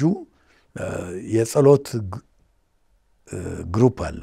የአብያተ ክርስቲያናት መሪዎች መጽሐፍ ቅዱስ ማህበር እየተገናኘን እንጸልይ ነበር ቅዳሜ ቅዳሜ ጠዋት። ከዛ ወጣና በኋላ hostel hostel ቅዳሜ ቅዳሜ ጠዋት ጸሎት አለ። እዛ በሚሰበሰቡት ቤተ ክርስቲያን መሪዎች እኔም ይሄን ነበረ ግብረ ኃይል እየተቋቋመ ኮንፍራንሱ ተዘጋጀ። ናዝሬት ነው የተደረገው። ከውጭ ሰባኮች ተጠሩ። እነ ፌስቶ ኪቪንጀሬ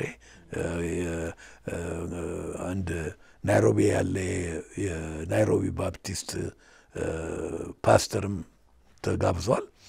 እንዲህ እንዲህ ያሉ ሰዎች ተጋበዙና ትልቅ ኮንፍራንስ ተዘጋጀ። ከኢትዮጵያውያን መካከል እንዲሰብኩ እኔ ተጋበዝኩኝ። ጋሽ መስፍን አቶ መስፍን ቀዩ የማራናታ አዎ፣ ማራናታ አቶ መስፍን ተጋበዘ እና ኮንፍራንሱ ተዘጋጀ። ሄድን ሁላችንም ከሁሉ ቦታ ከደቡብ ከምን ብዙዎች መጡ። ኮንፍራንሱ እጅግ ደስ የሚል ነበረ። ኮንፍራንሱ ሲያልቅ በኮንፍራንሱ መጨረሻ ቀን አባቶች በተለይ ከውጭ የመጡ ከደቡብ ከምን እና አባጎሌ ሌሎችም መጥተው ለሚያውቋቸው ለሚቀርቧቸው አቶ ተስፋ ሲሆን ዛሬ ያው የዛን ጊዜንም ዶክተር ነው። ለዶክተር ተስፋ ሲሆን ለሌሎችም ልትበትኑን ነው ወይ? በቃ ይሄ ለአንድ ዓመት ብቻ ነው በየጊዜው አይደረግም ይሏቸዋል። እና ለምን ትበትኑናላችሁ? ይህንን ሁል ጊዜ አድርጉልን ይሏቸዋል። ስንሰበሰብ ቤተ ክርስቲያን ተወካዮች ይህንን ሀሳብ ይዘው መጥተው ልትበትኑን ነው ወይ ብለዋል። ይህን ነገር በየጊዜው አድርጉ ብለዋል ተባለ። ተወያየን። በቃ እናድርግ፣ ኮሚቴ ይቋቋም ተባለ። ኮሚቴ ተቋቋመ። ሲቋቋም አቶ ተስፋ ማን ነው ዶክተር ተስፋ ጽዮን ደለለው chairman፣ ፓስተር በቀለ ላቀው አሁን ወደ ጌታ ሄደዋል። የአማኑኤል ባፕቲስት አገልጋይ ነበረ። እሱ ምክትል chairman፣ ተስፋ ወርቅነህ ጸሐፊ፣ እኔ ማለት ነው። ቢሾፕ ህሩይ ጽጌ ቃለ ጉባኤ ተቀባይ እና ሌሎችም አንድ ሁለት ሶስት የስራ አስኪያጁ ኮሚቴ አባል ሆነን ተመረጥን። እንግዲህ አትበትኑን ይደገም ተብለዋል። አዘጋጀን። የሚቀጥለውን ስብሰባ ያዘጋጀን እኛንን እንደውም እኔ ነበርኩኝ የጋበዝኩት ዶክተር ካሜልሰን የሚባል ከህንድ ሀገር ሰው ጋበዝን። ሁለተኛውም ኮንፍራንስም ድንቅ ነበረ። ያንን ኮንፍራንስ አደረግን። አሁን ደግሞ ምርጫ እንደገና እናድርግ ተባለ። ሲደረግ ኮሚቴው ያው ነው ራሱ ነው። ግን እኔና ቢሾፕ ህሩይ ጽጌ ተገለባበጥን። የቦታ ለውጥ ብቻ የቦታ ለውጥ አደረግን። እሱ ጸሐፊ ሆነ፣ እኔ ምክትል ሆንኩኝ። በዚህ አይነት መንገድ ሄደ። የተቋቋመ ሆነ ወንጌላውያን ህብረት በቃ አለ። ግን የራሱ ጸሐፊ full time ኖሮት ወይንም ደግሞ ቢሮ ኖሮት በዛ አይነት መንገድ አልሄደም። ስብሰባው አለ፣ ስብሰባው አለ፣ እንገናኛለን፣ አብረን ብዙ ነገር እንሰራለን። እንግዲህ በዚህ መካከል ነው የወጣውኝ። አጀማምሩ መነሻ አጀማመሩ ይሄ ነበር። ዛሬ ትልቅ ህብረት ነው። በጣም በርካታ አብያተ ክርስቲያናት አብረውት ያሉት አሁን እዚችኛዋ ቅድም ያነሳዋት ዶክሜንት ላይ ያን የነበራቸው ቁጥር ራሱ እዚህ ላይ የተገለጠበትን ቁጥር አይቻለሁ። ቁጥራችን በጣም እንግዲህ ይህንን ቁጥር እኔ ያው የዚያ ይህን ስናዘጋጅ የእኛ ቢሮ ነው ያዘጋጀው። እያንዳንዱ ቤተ ክርስቲያን አባሎቻችሁ ስንት እንደሆኑ ንገሩን ብለን ባቀረብነው ጥያቄ መሰረት ኢትዮጵያ ኦርቶዶክስም ላከች፣ ኢትዮጵያ ካቶሊክ ቤተ ክርስቲያንም ላከች። ሁሉም የኔም ቤተ ክርስቲያን የላከችው ቁጥር ነው እሱ ላይ የምታየው። በጣም የሚያስደንቅ ነው። በተለይ የወንጌላውያኑን ቁጥር እድገት በጣም አስደንቆኝ ነው የተመለከትኩት። እንደ ገነት church ገነት ቤተ ክርስቲያን ሁለት ሺህ መሰረተ ክርስቶስ አምስት ሺህ ብርሃነ ወንጌል ስምንት ሺህ ህይወት ብርሃን አስራ አምስት ሺህ ሙሉ ወንጌል ሀያ አምስት ሺህ ቃለ ህይወት የቃለ ህይወት አምስት መቶ የካቶሊክ አምስት መቶ የኦርቶዶክስ ወደ አስራ አምስት መካነ ሚሊዮን ኢየሱስም አካባቢ አምስት መቶ የመካነ ኢየሱስም እንደዛው። እነዚህ ቁጥሮች አሁን ዛሬ አድገው ቤተ እምነቶቹ በሚሊየን ተከታይ አላቸው በስራቸው። እና ይህ ቁጥር አሁን የእኛ ቤተ ክርስቲያን ሙሉ ወንጌል የቤተ ክርስቲያኑ ቁጥር ራሱ ምናልባት አሁን ወደ ሶስት ሺህ ነው ምናምን ይሆናል። ደርሷል፣ አድጓል። በጣም ትልቅ ቤተ እምነት ሆነዋል። እና እነዚህ ጉዞዎች መካከል ይሄ ህብረት ራሱ ትልቅ አሻራ ነበረውና የእናንተን ነገር አይቼ ነው ይህንን ያነሳሁት የሆነ quality ማለት quality የምንለው ይሄ የሆነ አንድ ነገር ይኖራችኋል ብዬ አምናለሁ። ያኔ የነበረው ትውልድ እነዚህን ተቋማት ከመመስረት ወደፊት ከማየት የሆነ ነገር ከማሰባሰብ ነገሮችን ከማስጀመር አንግል የከፈላችሁት ዋጋ ያደረጋችሁት ነገር አንድ የሆነ quality ያሳየናል ብዬ አምናለሁ እና ምናልባት ዶክተር quality ያችን የሚባል ነገር ይኖር ይሆን እዛ ጋር እርሶ የሚያነሱት መቼም quality የሚባል ነገር የለም። ክብር ሁሉ ለእግዚአብሔር ነው የሚሰጠው። ቀደም ብሎ የተሰራ ስራ አለ። ቀደም ብሎ የተሰራው ስራ ሰው የሰራው አይደለም፣ እግዚአብሔር የሰራው ነው። በቤተ እምነቶች መካከል ብዙ ጥላቻ ነበረ፣ መቀራረብም የለም። በወንጌላውያኑ መካከል ምንም መቀራረብ የሚባል የለም። የእኛን ግሩፕ እንኳን ብትወስድ እኛም ያለኛ በስተቀር ለእግዚአብሔር ቅርብ የሆነ የለም ብለን ነው የምናምነው። መንፈስ ቅዱስ የላቸውም የቀረው መንፈስ ቅዱስ የላቸውም የሚል አቀራረብ ነው ያለው። ግን ምን ሆነ መሰለ የእኛ ቤተ ክርስቲያን ስትሰደድ አንዳንዶቹ ቤት ቤታቸው ማምለክና ሁለትም ሶስትም ሆነው በዛ ተወስነው ለመቅረት ወሰኑ። አንሄድም ሌላ ቤተ ክርስቲያን ብለው። አንዳንዶቹ ግን ግድ ነውና ተበትነው ሌሎች ቤተ ክርስቲያኖች መሄድ ጀመሩ። choir ኣችንም ሌሎች ቦታ ሄዶ ማጥናት ጀመረ።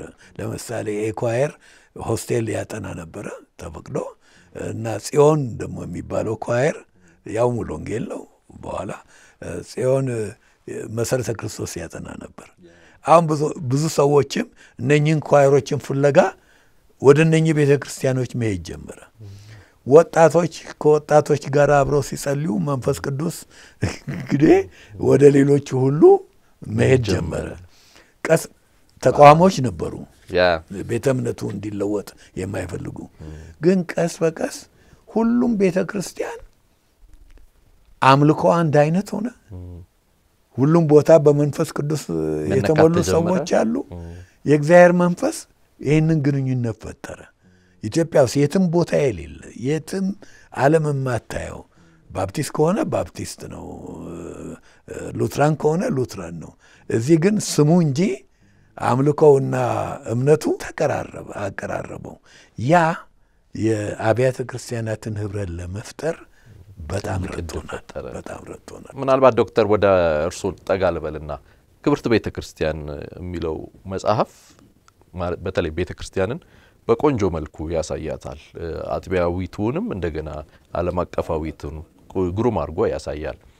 ብዙ ጊዜ ደግሞ ለምሳሌ እርሶን የሚቀርቡ ሰዎች ጠጋ ብዬ ሳወራ ከሚነግሩኝ ነገር አንዱ ዶክተር ችግሩንም ቢያቅ ብዙ የሚናገር አይነት ሰው አይደሉም የሚባል ነገር ይነሳል። ይሄ ምናልባት ክብርት ቤተ ክርስቲያንን በላቀ ሁኔታ ስለሚያያት ነው የሚል እይታ ያነሳሉ።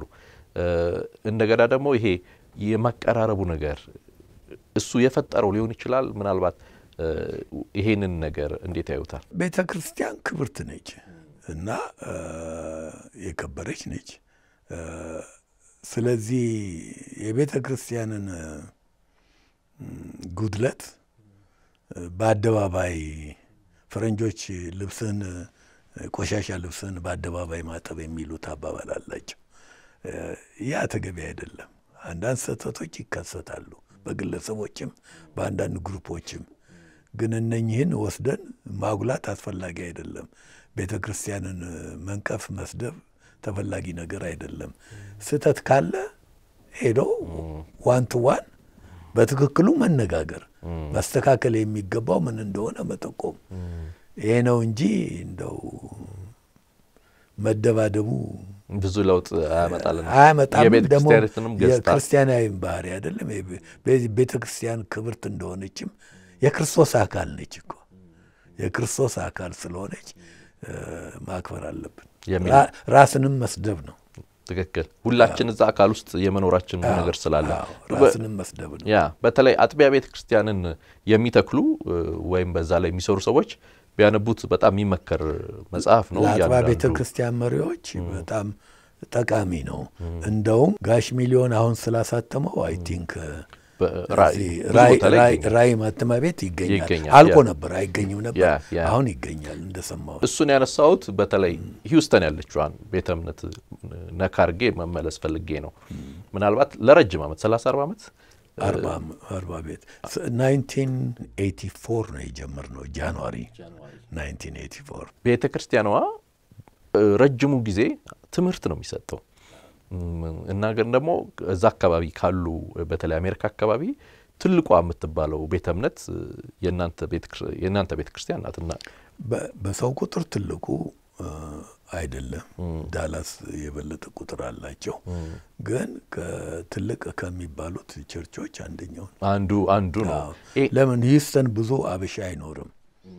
ድሮም ትንሽ ነበር፣ አሁንም ቢሆን ነው ሀያ ሺህ ቢሆን ነው። ግን ሆኖም የእኛ ቤተ ክርስቲያን ትልቁ ከነ ወጣቶቹ እስከ ሰባት መቶ ድረስ ትልቅ ቁጥር በኢትዮጵያ ይህንን ያየሁት ከዛ አንጻር ነው ማለት በውጭ ሀገር ይህን የሚያክል ቁጥር ያለው። ሁለተኛ ደግሞ ማንሳት የፈለግኩት እዛ የሚካፈሉት ቅዱሳን አንዳንዶቹ በእድሜም ትልልቅ ናቸው ማለት አብራችሁም የተጓዛችሁበት የቤተ እምነቷን ጉዞ ማንሳት ፈልጌ ነው። ለሌሎች ማካፈል እንድንችል ትምህርት እየተሰጠ እንደዚህ ረጅም ሶስት ወር ከዛም በላይ ለአመት አንድ ትምህርት እየተሰጠ እንዲህ consi ይሄ ምንድነው ተከታታይነት ያለውን እንዴት መገንባት እንደተቻለ ዶክተር የተወሰነ እግዚአብሔር ቃል መቼም ይጥማል፣ ይጣፍጣል እና ደግሞ ቃሉ ነው ለሁሉ ነገር መድኃኒቱ። balance አስፈላጊ ነው።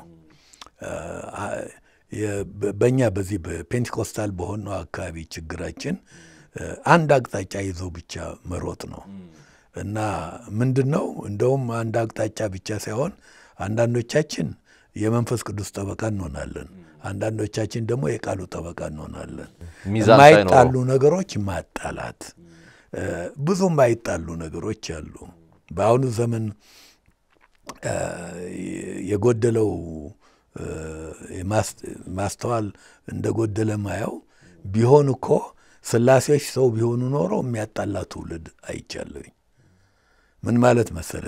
ስላሴ አብ፣ ወልድ፣ መንፈስ ቅዱስ ለማን ነው ብዙ ጭብጨባ የሚደረገው? ለማን ነው ብዙ ምስጋና የሚደረገው? እነሱን ስላሴዎች ሰው ቢሆኑ ኖሮ ዳዊት ይሄን ያክል ገደለ፣ ሳኦል ይሄን ያክል ገደለ ስለተባለ እኮ ነው አይደለም ያ ሁሉ ፍጅትና ጠብ የመጣው። ስለዚህ ሰው መካከል ማጣላትን ይችል ነበረ እና ይኸው እነኚህ ሁለቱ አይጣሉ። ቃሉን የጻፈ መንፈስ ቅዱስ ነው። መንፈስ ቅዱስ ቃሉን አይቃረንም። ቃሉ ባይኖር ደግሞ መንፈስ ቅዱስ ማን እንደሆነ እንኳን አይታወቅም። ቃሉን የሚገልጸው እሱ ነው። ባላንስ መጠበቅ አስፈላጊ ነው። አዎ አስፈላጊ ነው። ለእግዚአብሔር መንፈስ የሚሰራውን ስራ ሁሉ በተጻፈው ልክ ያንን መፍቀድ መለማመድ ይገባናል። በሌላ ቃል ደግሞ የእግዚአብሔርን ቃል በደንበኛው ማጥናት ይገባናል። እነኚህ ሁለቱም መለያየት የሚችሉ አይደሉም። ነገሮች አይደሉም።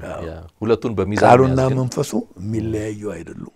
እነኚህን ሚዛን ይዘው መሄድ አለበት። በተቻለ መጠን በዚህ የአርባ ምናምን ዓመት ጉዞ ቤተ ክርስቲያናችን ሁለቱንም እንዲያገኙ አድርገናል እና አንድ አቅጣጫ ይዘው መሄድ ብቻ ለዛ ነው እድገቱም ያለው አብራችሁም ብዙ መጓዝ የቻላችሁት ለዛ ብዙ ሰዎች አሉ እንደጀመረን ያሉ አሉ። እኛ ጋር ብቻ ሳይሆን ሬሊ በጣም ብዙ ይህንን የመሰለ ስራ የሚሰራባቸው አጥቢያ ቤተ ክርስቲያኖች ሞልተዋል። በማውቀው ውስጥ ትንሽ እኛ ጋር ነው እኛ ብቻ ነን ማለት ተገቢ አይደለም። እግዚአብሔር ብዙ ሰዎች አሉ። አሜን አሜን። እንትኑን ይዣለሁ። በተለይ እናንተ ያላችሁበት ይሄ Midwest የሚባለው Midwest አካባቢ ነው እና የአብያተ ክርስቲያናት ህብረት ህብረቱ ራሱ እና ለየት ያለ ህብረት ነው ይላሉ። ጠንካራ ነው። የተጀመረው እኔ የሂውስተንን ቤተ ክርስቲያን ወክዬ ፓስተር ሰይፉ የዳላስ ቤተ ክርስቲያን ፓስተር ነበረ። ሰይፉ ከበደ ፓስተር አሰፋ አለሙ፣ ጋሽ አሰፋ እለዋለሁኝ በጣም ወዳጄ ወንድሜ ነው። እሱ ካንሳስ ቤተ ክርስቲያን በሶስታችን ተጀመረ። ህብረት ፈጠርን እና አብረን እንሰበሰብ ጀመርን። አላማችን ያው በአብያተ ክርስቲያናት መካከል ግንኙነት ለመፍጠር መድረክ ለመለዋወጥ training፣ seminar፣ የተለያዩ ነገሮች ለማድረግ ነው። በአመት ደግሞ ምዕመኑን አንድ ላይ አድርጎ ማገናኘት ነው። በኋላ ሌሎች ቤተ ክርስቲያኖች ተጨመሩ። አሁን ቁጥራችን አስራ አንድ ነው። በጣም ሁሉም ትላልቅ ጠንካራ አመራር ያላቸው ናቸው እና የእግዚአብሔር ስራውን አብረን እየሰራን ነው።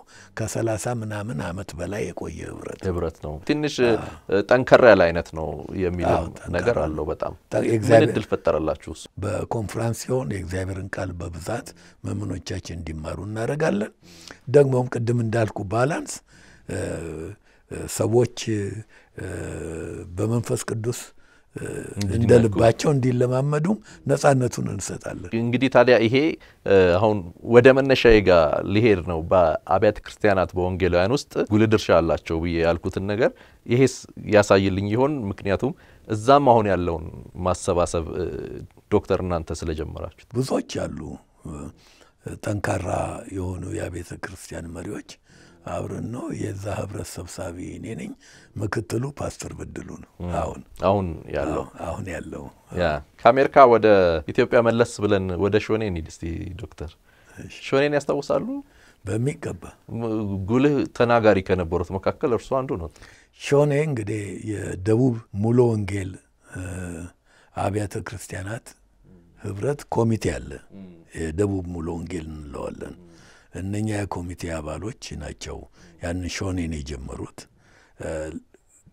ቁልፍ የሆኑ ደግሞ የእግዚአብሔር ሰው አሁን ወደ ጌታ ሄደዋል። አባ ጸጋዬ የምንላቸው አቶ ጸጋዬ የምንላቸው ሰው ነበሩ። አምቡርስ የሚባል ቦታ ሾኔ ከተማ እሳቸው ናቸው ስፍራውን ቦታውን ለቀው ድንኳን ተክለው ህዝቡን ሁሉ ለማስተናገድ በእውነት እንዴት ያለ እንትን ነው። ኮንፍራንስ ነበር ሲጀመር። ያ የመጀመሪያው ኮንፍራንስ ላይ ተገኝቼ ያስተማርኩት እኔ ነኝ እና ተከታታይ ትምህርት አስተምሬያለሁኝ። ሁለተኛውም ላይ አስተምሬያለሁኝ። ሶስተኛም ላይ አስተምሬያለሁኝ። ለሶስት ዓመት በተከታታይ የሾኔ ኮንፍራንስ ተናጋሪ ነበርኩኝ። ብዙዎቻችን ከዚህ እንሄዳለን። እኔ ከወጣሁ በኋላ ግን ትልቅ ኮንፍራንስ እንደሆነ ሰማሁኝ። እንደውም ከተለያየ ቦታ ሁሉ ይመጡ ነበር። ከአዲስ አበባ ብቻ ሳይሆን ከተለያየ ስፍራ አሉ እና ዮሐንስ ራእይን አስተምሬያለሁ እዛ የሾኔም የማስተማር እድል ነበር። በጣም ደስ ይላል። ወደ ሙሉ ወንጌል እንሂድ። በተለይ ከሰባቱ መሪዎች መካከል አንዱ ዶክተር ተስፋ ናቸው። የኢትዮጵያ የኢትዮጵያ የኢትዮጵያ የኢትዮጵያው ሲመሰረት ግን እኔ ወደ ኋላ ሄድ ብዬ ማንሳት የፈለግኩት የሙሉ ወንጌል ቤተ ክርስቲያን ታሪክ ሲነሳ ሁለት አይነት ንግግሮች አሉ። ለምሳሌ አንዳንዶች ሀገር በቀል ናት ቤተ ክርስቲያን የሚል ነገር ያነሳሉ። አንዳንዶች ደግሞ ሀገር በቀል ልንላት እንችላለን ወይ የሚል ጥያቄም ያነሳሉ። እና እናንተ መርካቶ ነበሩ ዶክተር ያኔ ያን እንቅስቃሴ መካከል ስለነበሩ ይሄንን እይታ እንዴት ነው የሚያዩት? ሙሉ ወንጌል ሀገር በቀል ናት ማለት ይቻላል። ምክንያቱም የፈረንጅ እርዳታ የለባትም አዎ፣ እና አትቀበልምም ነበር። ለመርዳትም የሞከሩ ሰዎች ነበሩ። ነገር ግን በር አልከፈተችም። ከዛ አንጻር ትክክል ነው። ወንጌል ግን ከሰማይ ዱብ ብሎ እኛ ጋር መጣ ለማለት የሚደፍር ሰው ካለ ተሳስተዋል። ወንጌልን ወደዚህ ምድር ያመጡልን የሰበኩልን ሰዎች አሉ። ሁላችንም የዳንነው። አሁን ብትጠይቀኝ የዳንኩት ሙሉ ወንጌል ከመፈጠሯ በፊት ፊንላንድ ሚስዮን ነው ጌታን ያገኘሁት እና ወንጌል የሰማሁት ከፈረንጅ ነው ከፊንላንድ ሚስዮን በነበረበት እንደውም ሰባኪዋ ሲስተር ኤልቪ ትባል ነበረ። ፓስተሯ ድንግላዊት ነች እና ግሩም ግሩም የእግዚአብሔር ሰው ግሩም አስተማሪ ነበረች።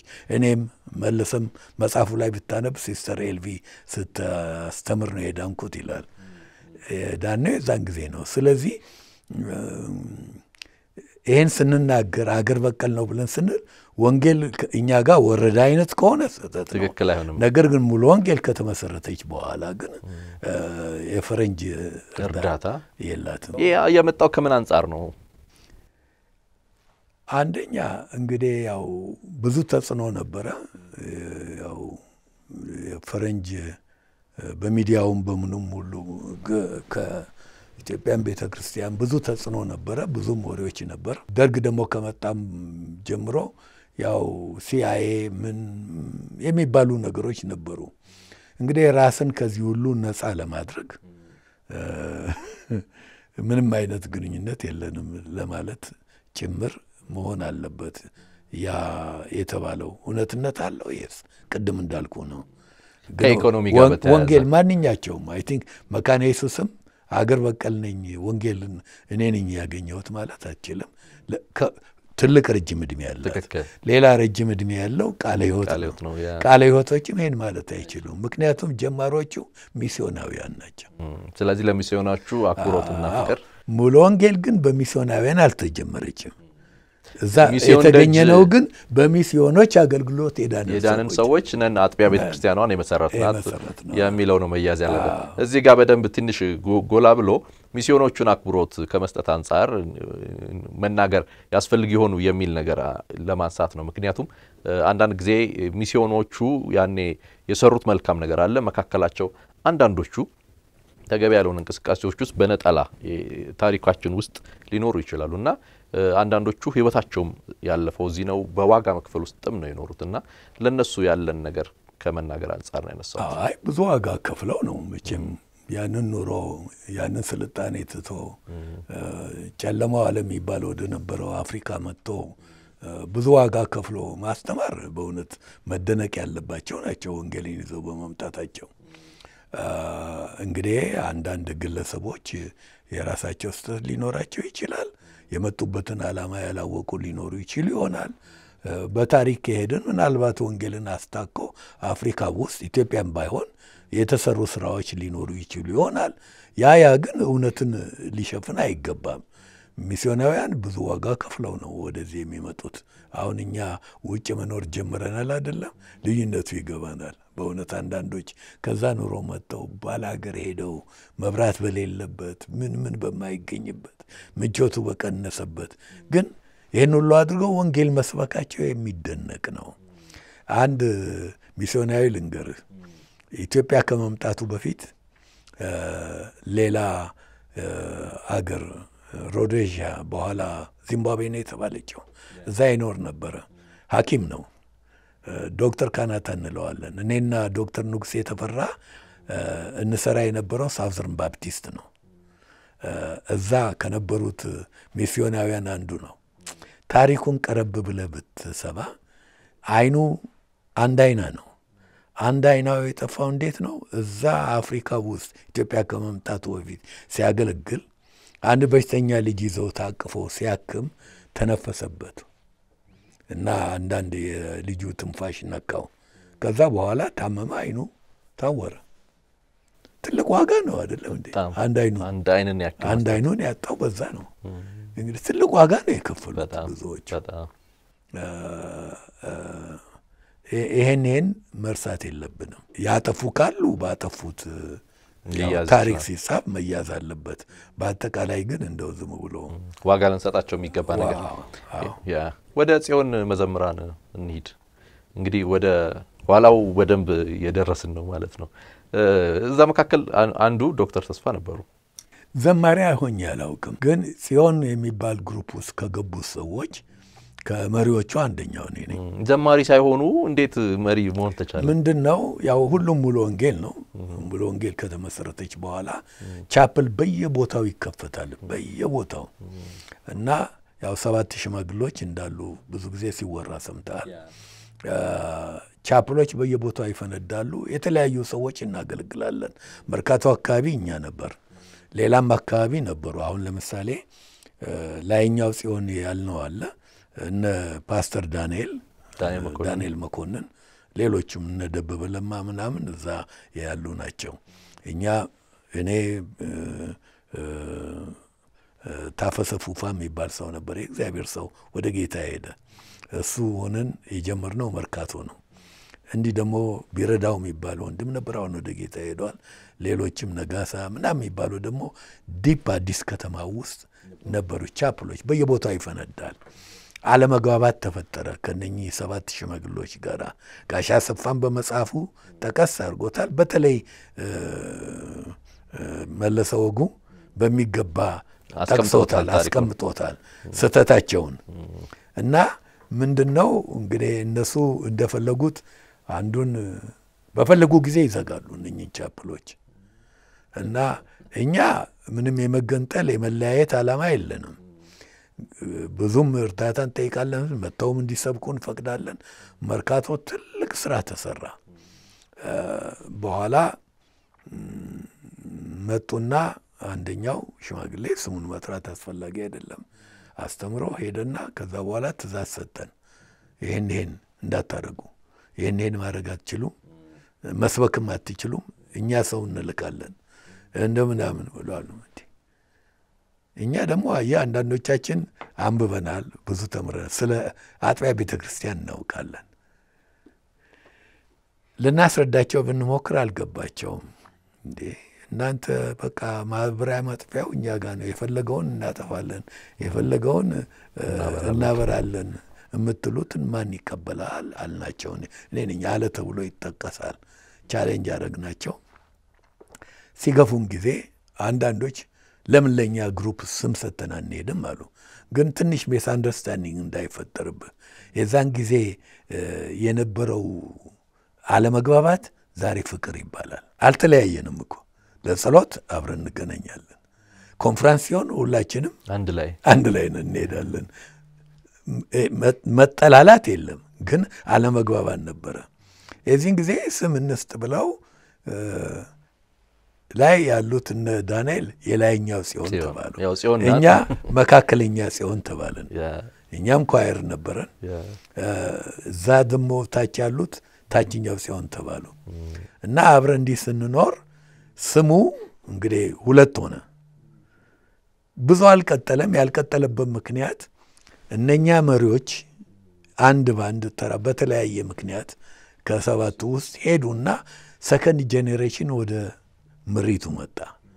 ንጉሴ ተፈራ ነበረ። እንደውም ሁሉ ሄደው chairman ኑ አሁን ሙሉ ወንጌል ንጉሴ ተፈራ ነው የ church ኣችን። ንጉሴ ተፈራ ማለት ለእኔ ወንድሜ ማለት ነው። አብረን ነው የምንሰራውም። ውይይትም አልተደረገም። ከዚህ ደግሞ ትንሽ አክራሪ ሆነ የነበርኩ ይላሉ እና ውይይትም የለም ምንም የለም። በቃ አንተዋሉ ኳይሮም ተደባለቀ፣ አንድ ሆነ ደግሞ አንድ ሆነ። ጽዮን ማለት ሙሉ ወንጌል ሙሉ ወንጌል ሙሉ ወንጌል ናት። በኋላ ሙሉ አድጋ ወንጌል ነች። መጀመሪያም ምልህ ምክንያት አለው። ተገፍቶ ለተወሰነ ጊዜ የመጣ ክፍተት ነው። ክፍተት ነው። ሙሉ ወንጌል አሁን በቆዳ ስፋት ቁጥር አንድ ከሚባሉ ቤተ እምነቶች አንደኛ ናት በሀገሪቱ ውስጥ በጣም በርካታ ቦታ ላይ ያኔ የጀመረው ነገር ነው። አሁንም እርስዎ ሲያነሱልኝ ነበር በየቦታው ይሄ ቻፕሎች የመነሳታቸው የመፈንዳታቸው ምክንያት ምንድን ነው? እንዲህ ሰፊ ልትሆን የቻለችውና ያ ነገር ቶሎ ቶሎ ሊሆን የቻለበት ምክንያት ልክ በሐዋርያት ዘመን እንደሆነው በሐዋርያት ዘመን አሁን የተበተኑት ሁሉ በየስፍራው ወንጌልን ተናገሩ አይደለም። የተነፈሱት ሁሉ ወንጌል ነው። ውጤት አለው ደግሞ ወንጌል መንፈስ ቅዱስ ነው የሚሰራው። በዚህ ምክንያት ቸርቾች በየቦታው ይከፈታሉ። እንደውም በኃይለ ሥላሴ ዘመን ከስርዓቱም ከሌላውም ሁሉ ሌላ ብዙ church ኦችን ዘግተዋል።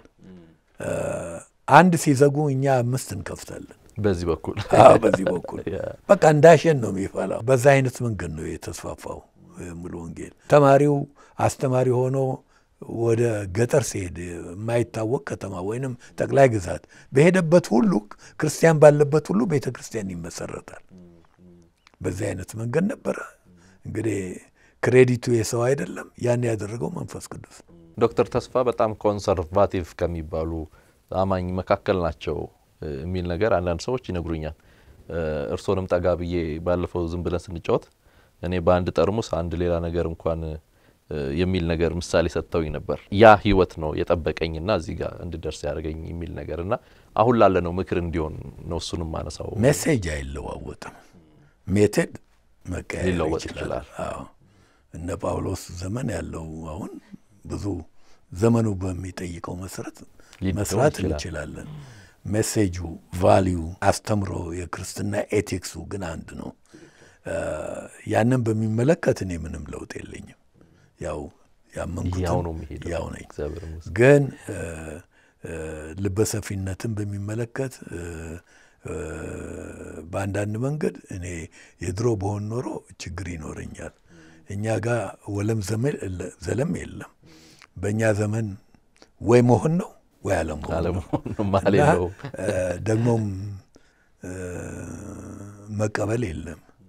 ግን በተለይ እኔ አሁን ውጭ በቆየሁበት ጊዜ ፓስተር በነበርኩበት ጊዜ ሰዎችን እንዲሸከማች ለመለወጥ እንዳሉ ተቀብሎ ቀስ በቀስ በማስተማር እንዲለወጡ ማድረግ። ድሮ ቢሆን ቶሎ እናወግዛቸዋለን። ገባ በቃ ወዲያው የሆነ ነገር ነው። ምናልባት እኔ ብቻ ሳልሆን ሁላችንም የዛ አይነት ነበርንና እንደዛ ነበርን። አሁን ግን እንዲያ ነው ወይ ብትለኝ ለውጥ አለኝ። ዶክተር በጣም እጅግ አድርጌ ነው የማመሰግነው። ዛሬ ማታ በረራ አለ። በበረራ መካከል ላይ ነው ያለ ነው። በጣም ብዙ ቀጠሮች አሉ። ጠዋት እንኳን ከአንድ ትልቅ ጉዳይ ላይ ነው እዚህ መተን የተገናኘ ነው። ያነሳ ነው ብዙ ነገር ነው። ሁሉንም ነክተነዋል ብዬ አላምንም። ምክንያቱም ተመልካቾችም ይረዱናል ብዬ ተስፋ አረጋለሁ። ምክንያቱም ጊዜው ዘመኑንና እኔ ዋና ዋና ያልኳቸውን የተወሰኑትን የነካ ነው እና ይህንን የማነሳው ምንድን ነው ይሄ ሁሉ ታሪክ ያለበት የእግዚአብሔር ታሪክ ነው ብያለሁ ስነሳና መች ነው እንደዚህ ተጠርዞ በመጽሐፍ የምናገኘው ዶክተር? ከባድ ጥያቄ ነው የጠየቀኝ። እንግዲህ እግዚአብሔር የሰውን ሀሳብ የሰውን አእምሮ መለወጥ ይችላል። እኔ የተማርኩትን የእግዚአብሔርን ቃል እግዚአብሔር ያስተማረኝን በሰጠኝ እድሜ እስከ ሄድኩበት ጊዜ ድረስ ለመጻፍ እቅዶች አሉኝ። ግን የራሴን ታሪክ የመጻፍ ዓላማ የለኝም። በአደባባይም ተናግሬ ያለሁኝ። ይህን ማለት ሌሎች አይጻፉ የጻፉትም ተሳስተዋል ማለት አይደለም። እግዚአብሔር ይባርካቸው። እኔ ግን እኛ እኮ ውርጋጤ ነበርን፣ እ፣ ትንሾች የነበርን ልጆች የሆንን ከእውቀትም እውቀት ያልነበረን አንዳንዶቻችን ሐዋርያው ጳውሎስ በትንቢተ ኤልያስ እንዳለው እያልን ያስተማርን። እግዚአብሔር ግን አለማወቃችንን አውቆ ሰውን መቼም እንዲሁ ሊተው አልፈለገም። በዛም በድካማችን ባለማወቅ ያደረግነውን አይቶ ብዙ ሰዎች ጌታን እየተቀበሉ የዳኑ እ፣ መንፈስ ቅዱስ ያሰራው ስራ ነው ታሪካችን። የእኛ history የለም ያለው his story ነው እና የእሱ ነገር እኔ እኔ የጠራኝ ይህኛውን እንግዲህ እስከ ቻልኩ ድረስ ለማድረግ ነው። ምናልባት ጊዜ አግኝቼ ሀሳቤም ተለውጦ ስለ ቤተ ክርስቲያን መጻፍ ይችል ይሆናል። አሁን ቅድም ስላልከኝ የወንጌላውያን አጀማመር ወይ ምናምን ሌላው በማውቀውም መንገድ የሙሉ ወንጌል አጀማመር የእኛ ቤተ ክርስቲያን የሙሉ ወንጌል አጀማመር ታሪክ እንደ አቅጣጫ የያዘ አይደለም። እንደፈለጉት ብዙዎች የራሳቸው ምልከታ ሰዎች እንደፈለጉት ነው የጻፉት። ደግሞም አንድ አቅጣጫ ተከትሎ የሄደ ነው። የሚያሳዝነኝ ነገር ነው። ትክክልም አይደለም። እንዲህ እንዲህ ያሉ ነገሮች ጊዜ ሲኖር ምናልባት የበኩሌን እይታ እጽፍ ይሆናል። ቢሆንም ግን አሁን በቃ በዝርዝር ሌሎች እንዳደረጉት እኔም ታሪኬን ከጀምሮ እስከ ድረስ አስቀምጣለሁ ብዬ ቃል አልገባልህም። አላውቅም። አላውቅም። እግዚአብሔር ግን ሀሳቤን ሊቀይር ሊቀየር ይችላል። ቀጣይ የሐዋርያት ስራ መጽሐፍ በዚህ መልክ እየተሰራ ነው። ትልቅ ነው የሚሆነው። መች ላይ የሚደርስ ይመስሎታል ዶክተር? ከዓመት በኋላ ይወጣል የሚል ይወጣል። ያ በጣም እጅግ አድርጌ ያመሰግናለሁ ዶክተር ከውድ ጊዜው ላይ ይህንን ሀሳብ ስላካፈሉን እነዚህን ምክርም ማዘል ግን ደግሞ የቤተ ክርስቲያንንም ታሪክ በተለይ ደግሞ እነዚህ መጽሐፎች የሚዳስሷቸውንም ሀሳቦች ለመዳሰስ ይህን የመሰለ እድል ስላገኘን እጅግ አድርጌ ያመሰግናለሁ። በመጨረሻ ቀረ የሚባል ነገር ካለ በልቦት ያለ መልእክት ማለት ነው እድሉ ለእርሶ ልተው። የጠየቀኝን ሁሉ መልሻለሁኝ። አንተንም በማወቄ ደስ ብሎኛል። ስለ ጋበዛችሁኝም አመሰግናለሁኝ። እና እግዚአብሔር መልካም ነው፣ የመልካም ነገር ሁሉ ምንጭ ነው። ኢትዮጵያ ውስጥ ሰፊ የእግዚአብሔር ስራ አለ።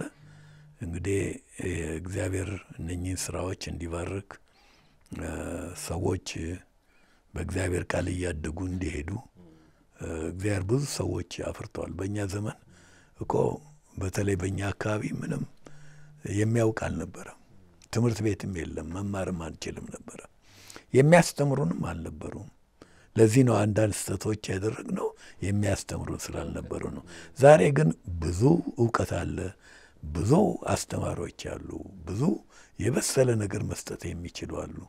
ይሄ ሁሉ ያለ እድሉን አለመጠቀም አዳዲስ ለሆኑ ክርስቲያኖች ወይም ለጀመሩ በጣም ያሳዝነኛል እና መጠቀሙ ቆንጆ ነው እና አስፈላጊ የሆኑ ክርስቲያናዊ ነገሮች አሉ። አምስቱ ዲሲፕሊን በተለይ ክርስቲያን ሁሉ ሊያደርጋቸው የሚገባ እነኛም አምስቱ ዲሲፕሊን መንፈሳዊ ለመሆን አስፈላጊዎቹ እነኚህ ናቸው። ዛሬ ብዙ ሰዎች ኮንፍራንስ ሆኖ ተገኝቶ እዛ ላይ በቃ ሞቅ ብሎ መንፈሳዊ ሆኖ መቅረት የሚቻል ይመስላቸዋል። ያ ጊዜያዊ ነው።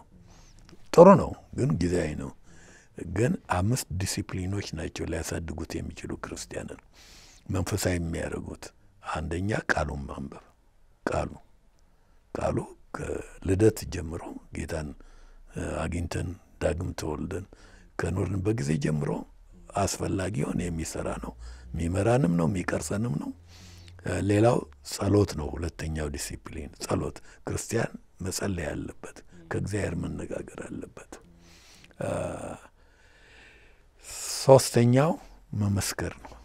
መመስከር ቃሉም ይጠይቃል አይደለም? ሰው በልባው ነው በአፉ መስክሮ ይላል። አራተኛው ህብረት ነው። እንደውም ሶስተኛው ነው። አራተኛው ቅድም አሁን ያልኩት ነው። ህብረት አስፈላጊ ነው። ከእግዚአብሔር ሰዎች ጋር ህብረት ማድረግ፣ ቤተ ክርስቲያን አባል መሆን። ዛሬ ብዙዎቹ የአጥቢያ ቤተ ክርስቲያን ጉዳይ አይገባቸውም። ላሉበትም የአጥቢያ ቤተ ክርስቲያን ኃላፊነት አይሰማቸውም። የዚህ ቤተ ክርስቲያን አባል ነኝ ይላሉ። እዛ ሄደው ግን ከመሪዎቻቸው እግር ስር ቁጭ ብለው ከተማሩ ዘመን የለውም። ህብረት አስፈላጊ ነው።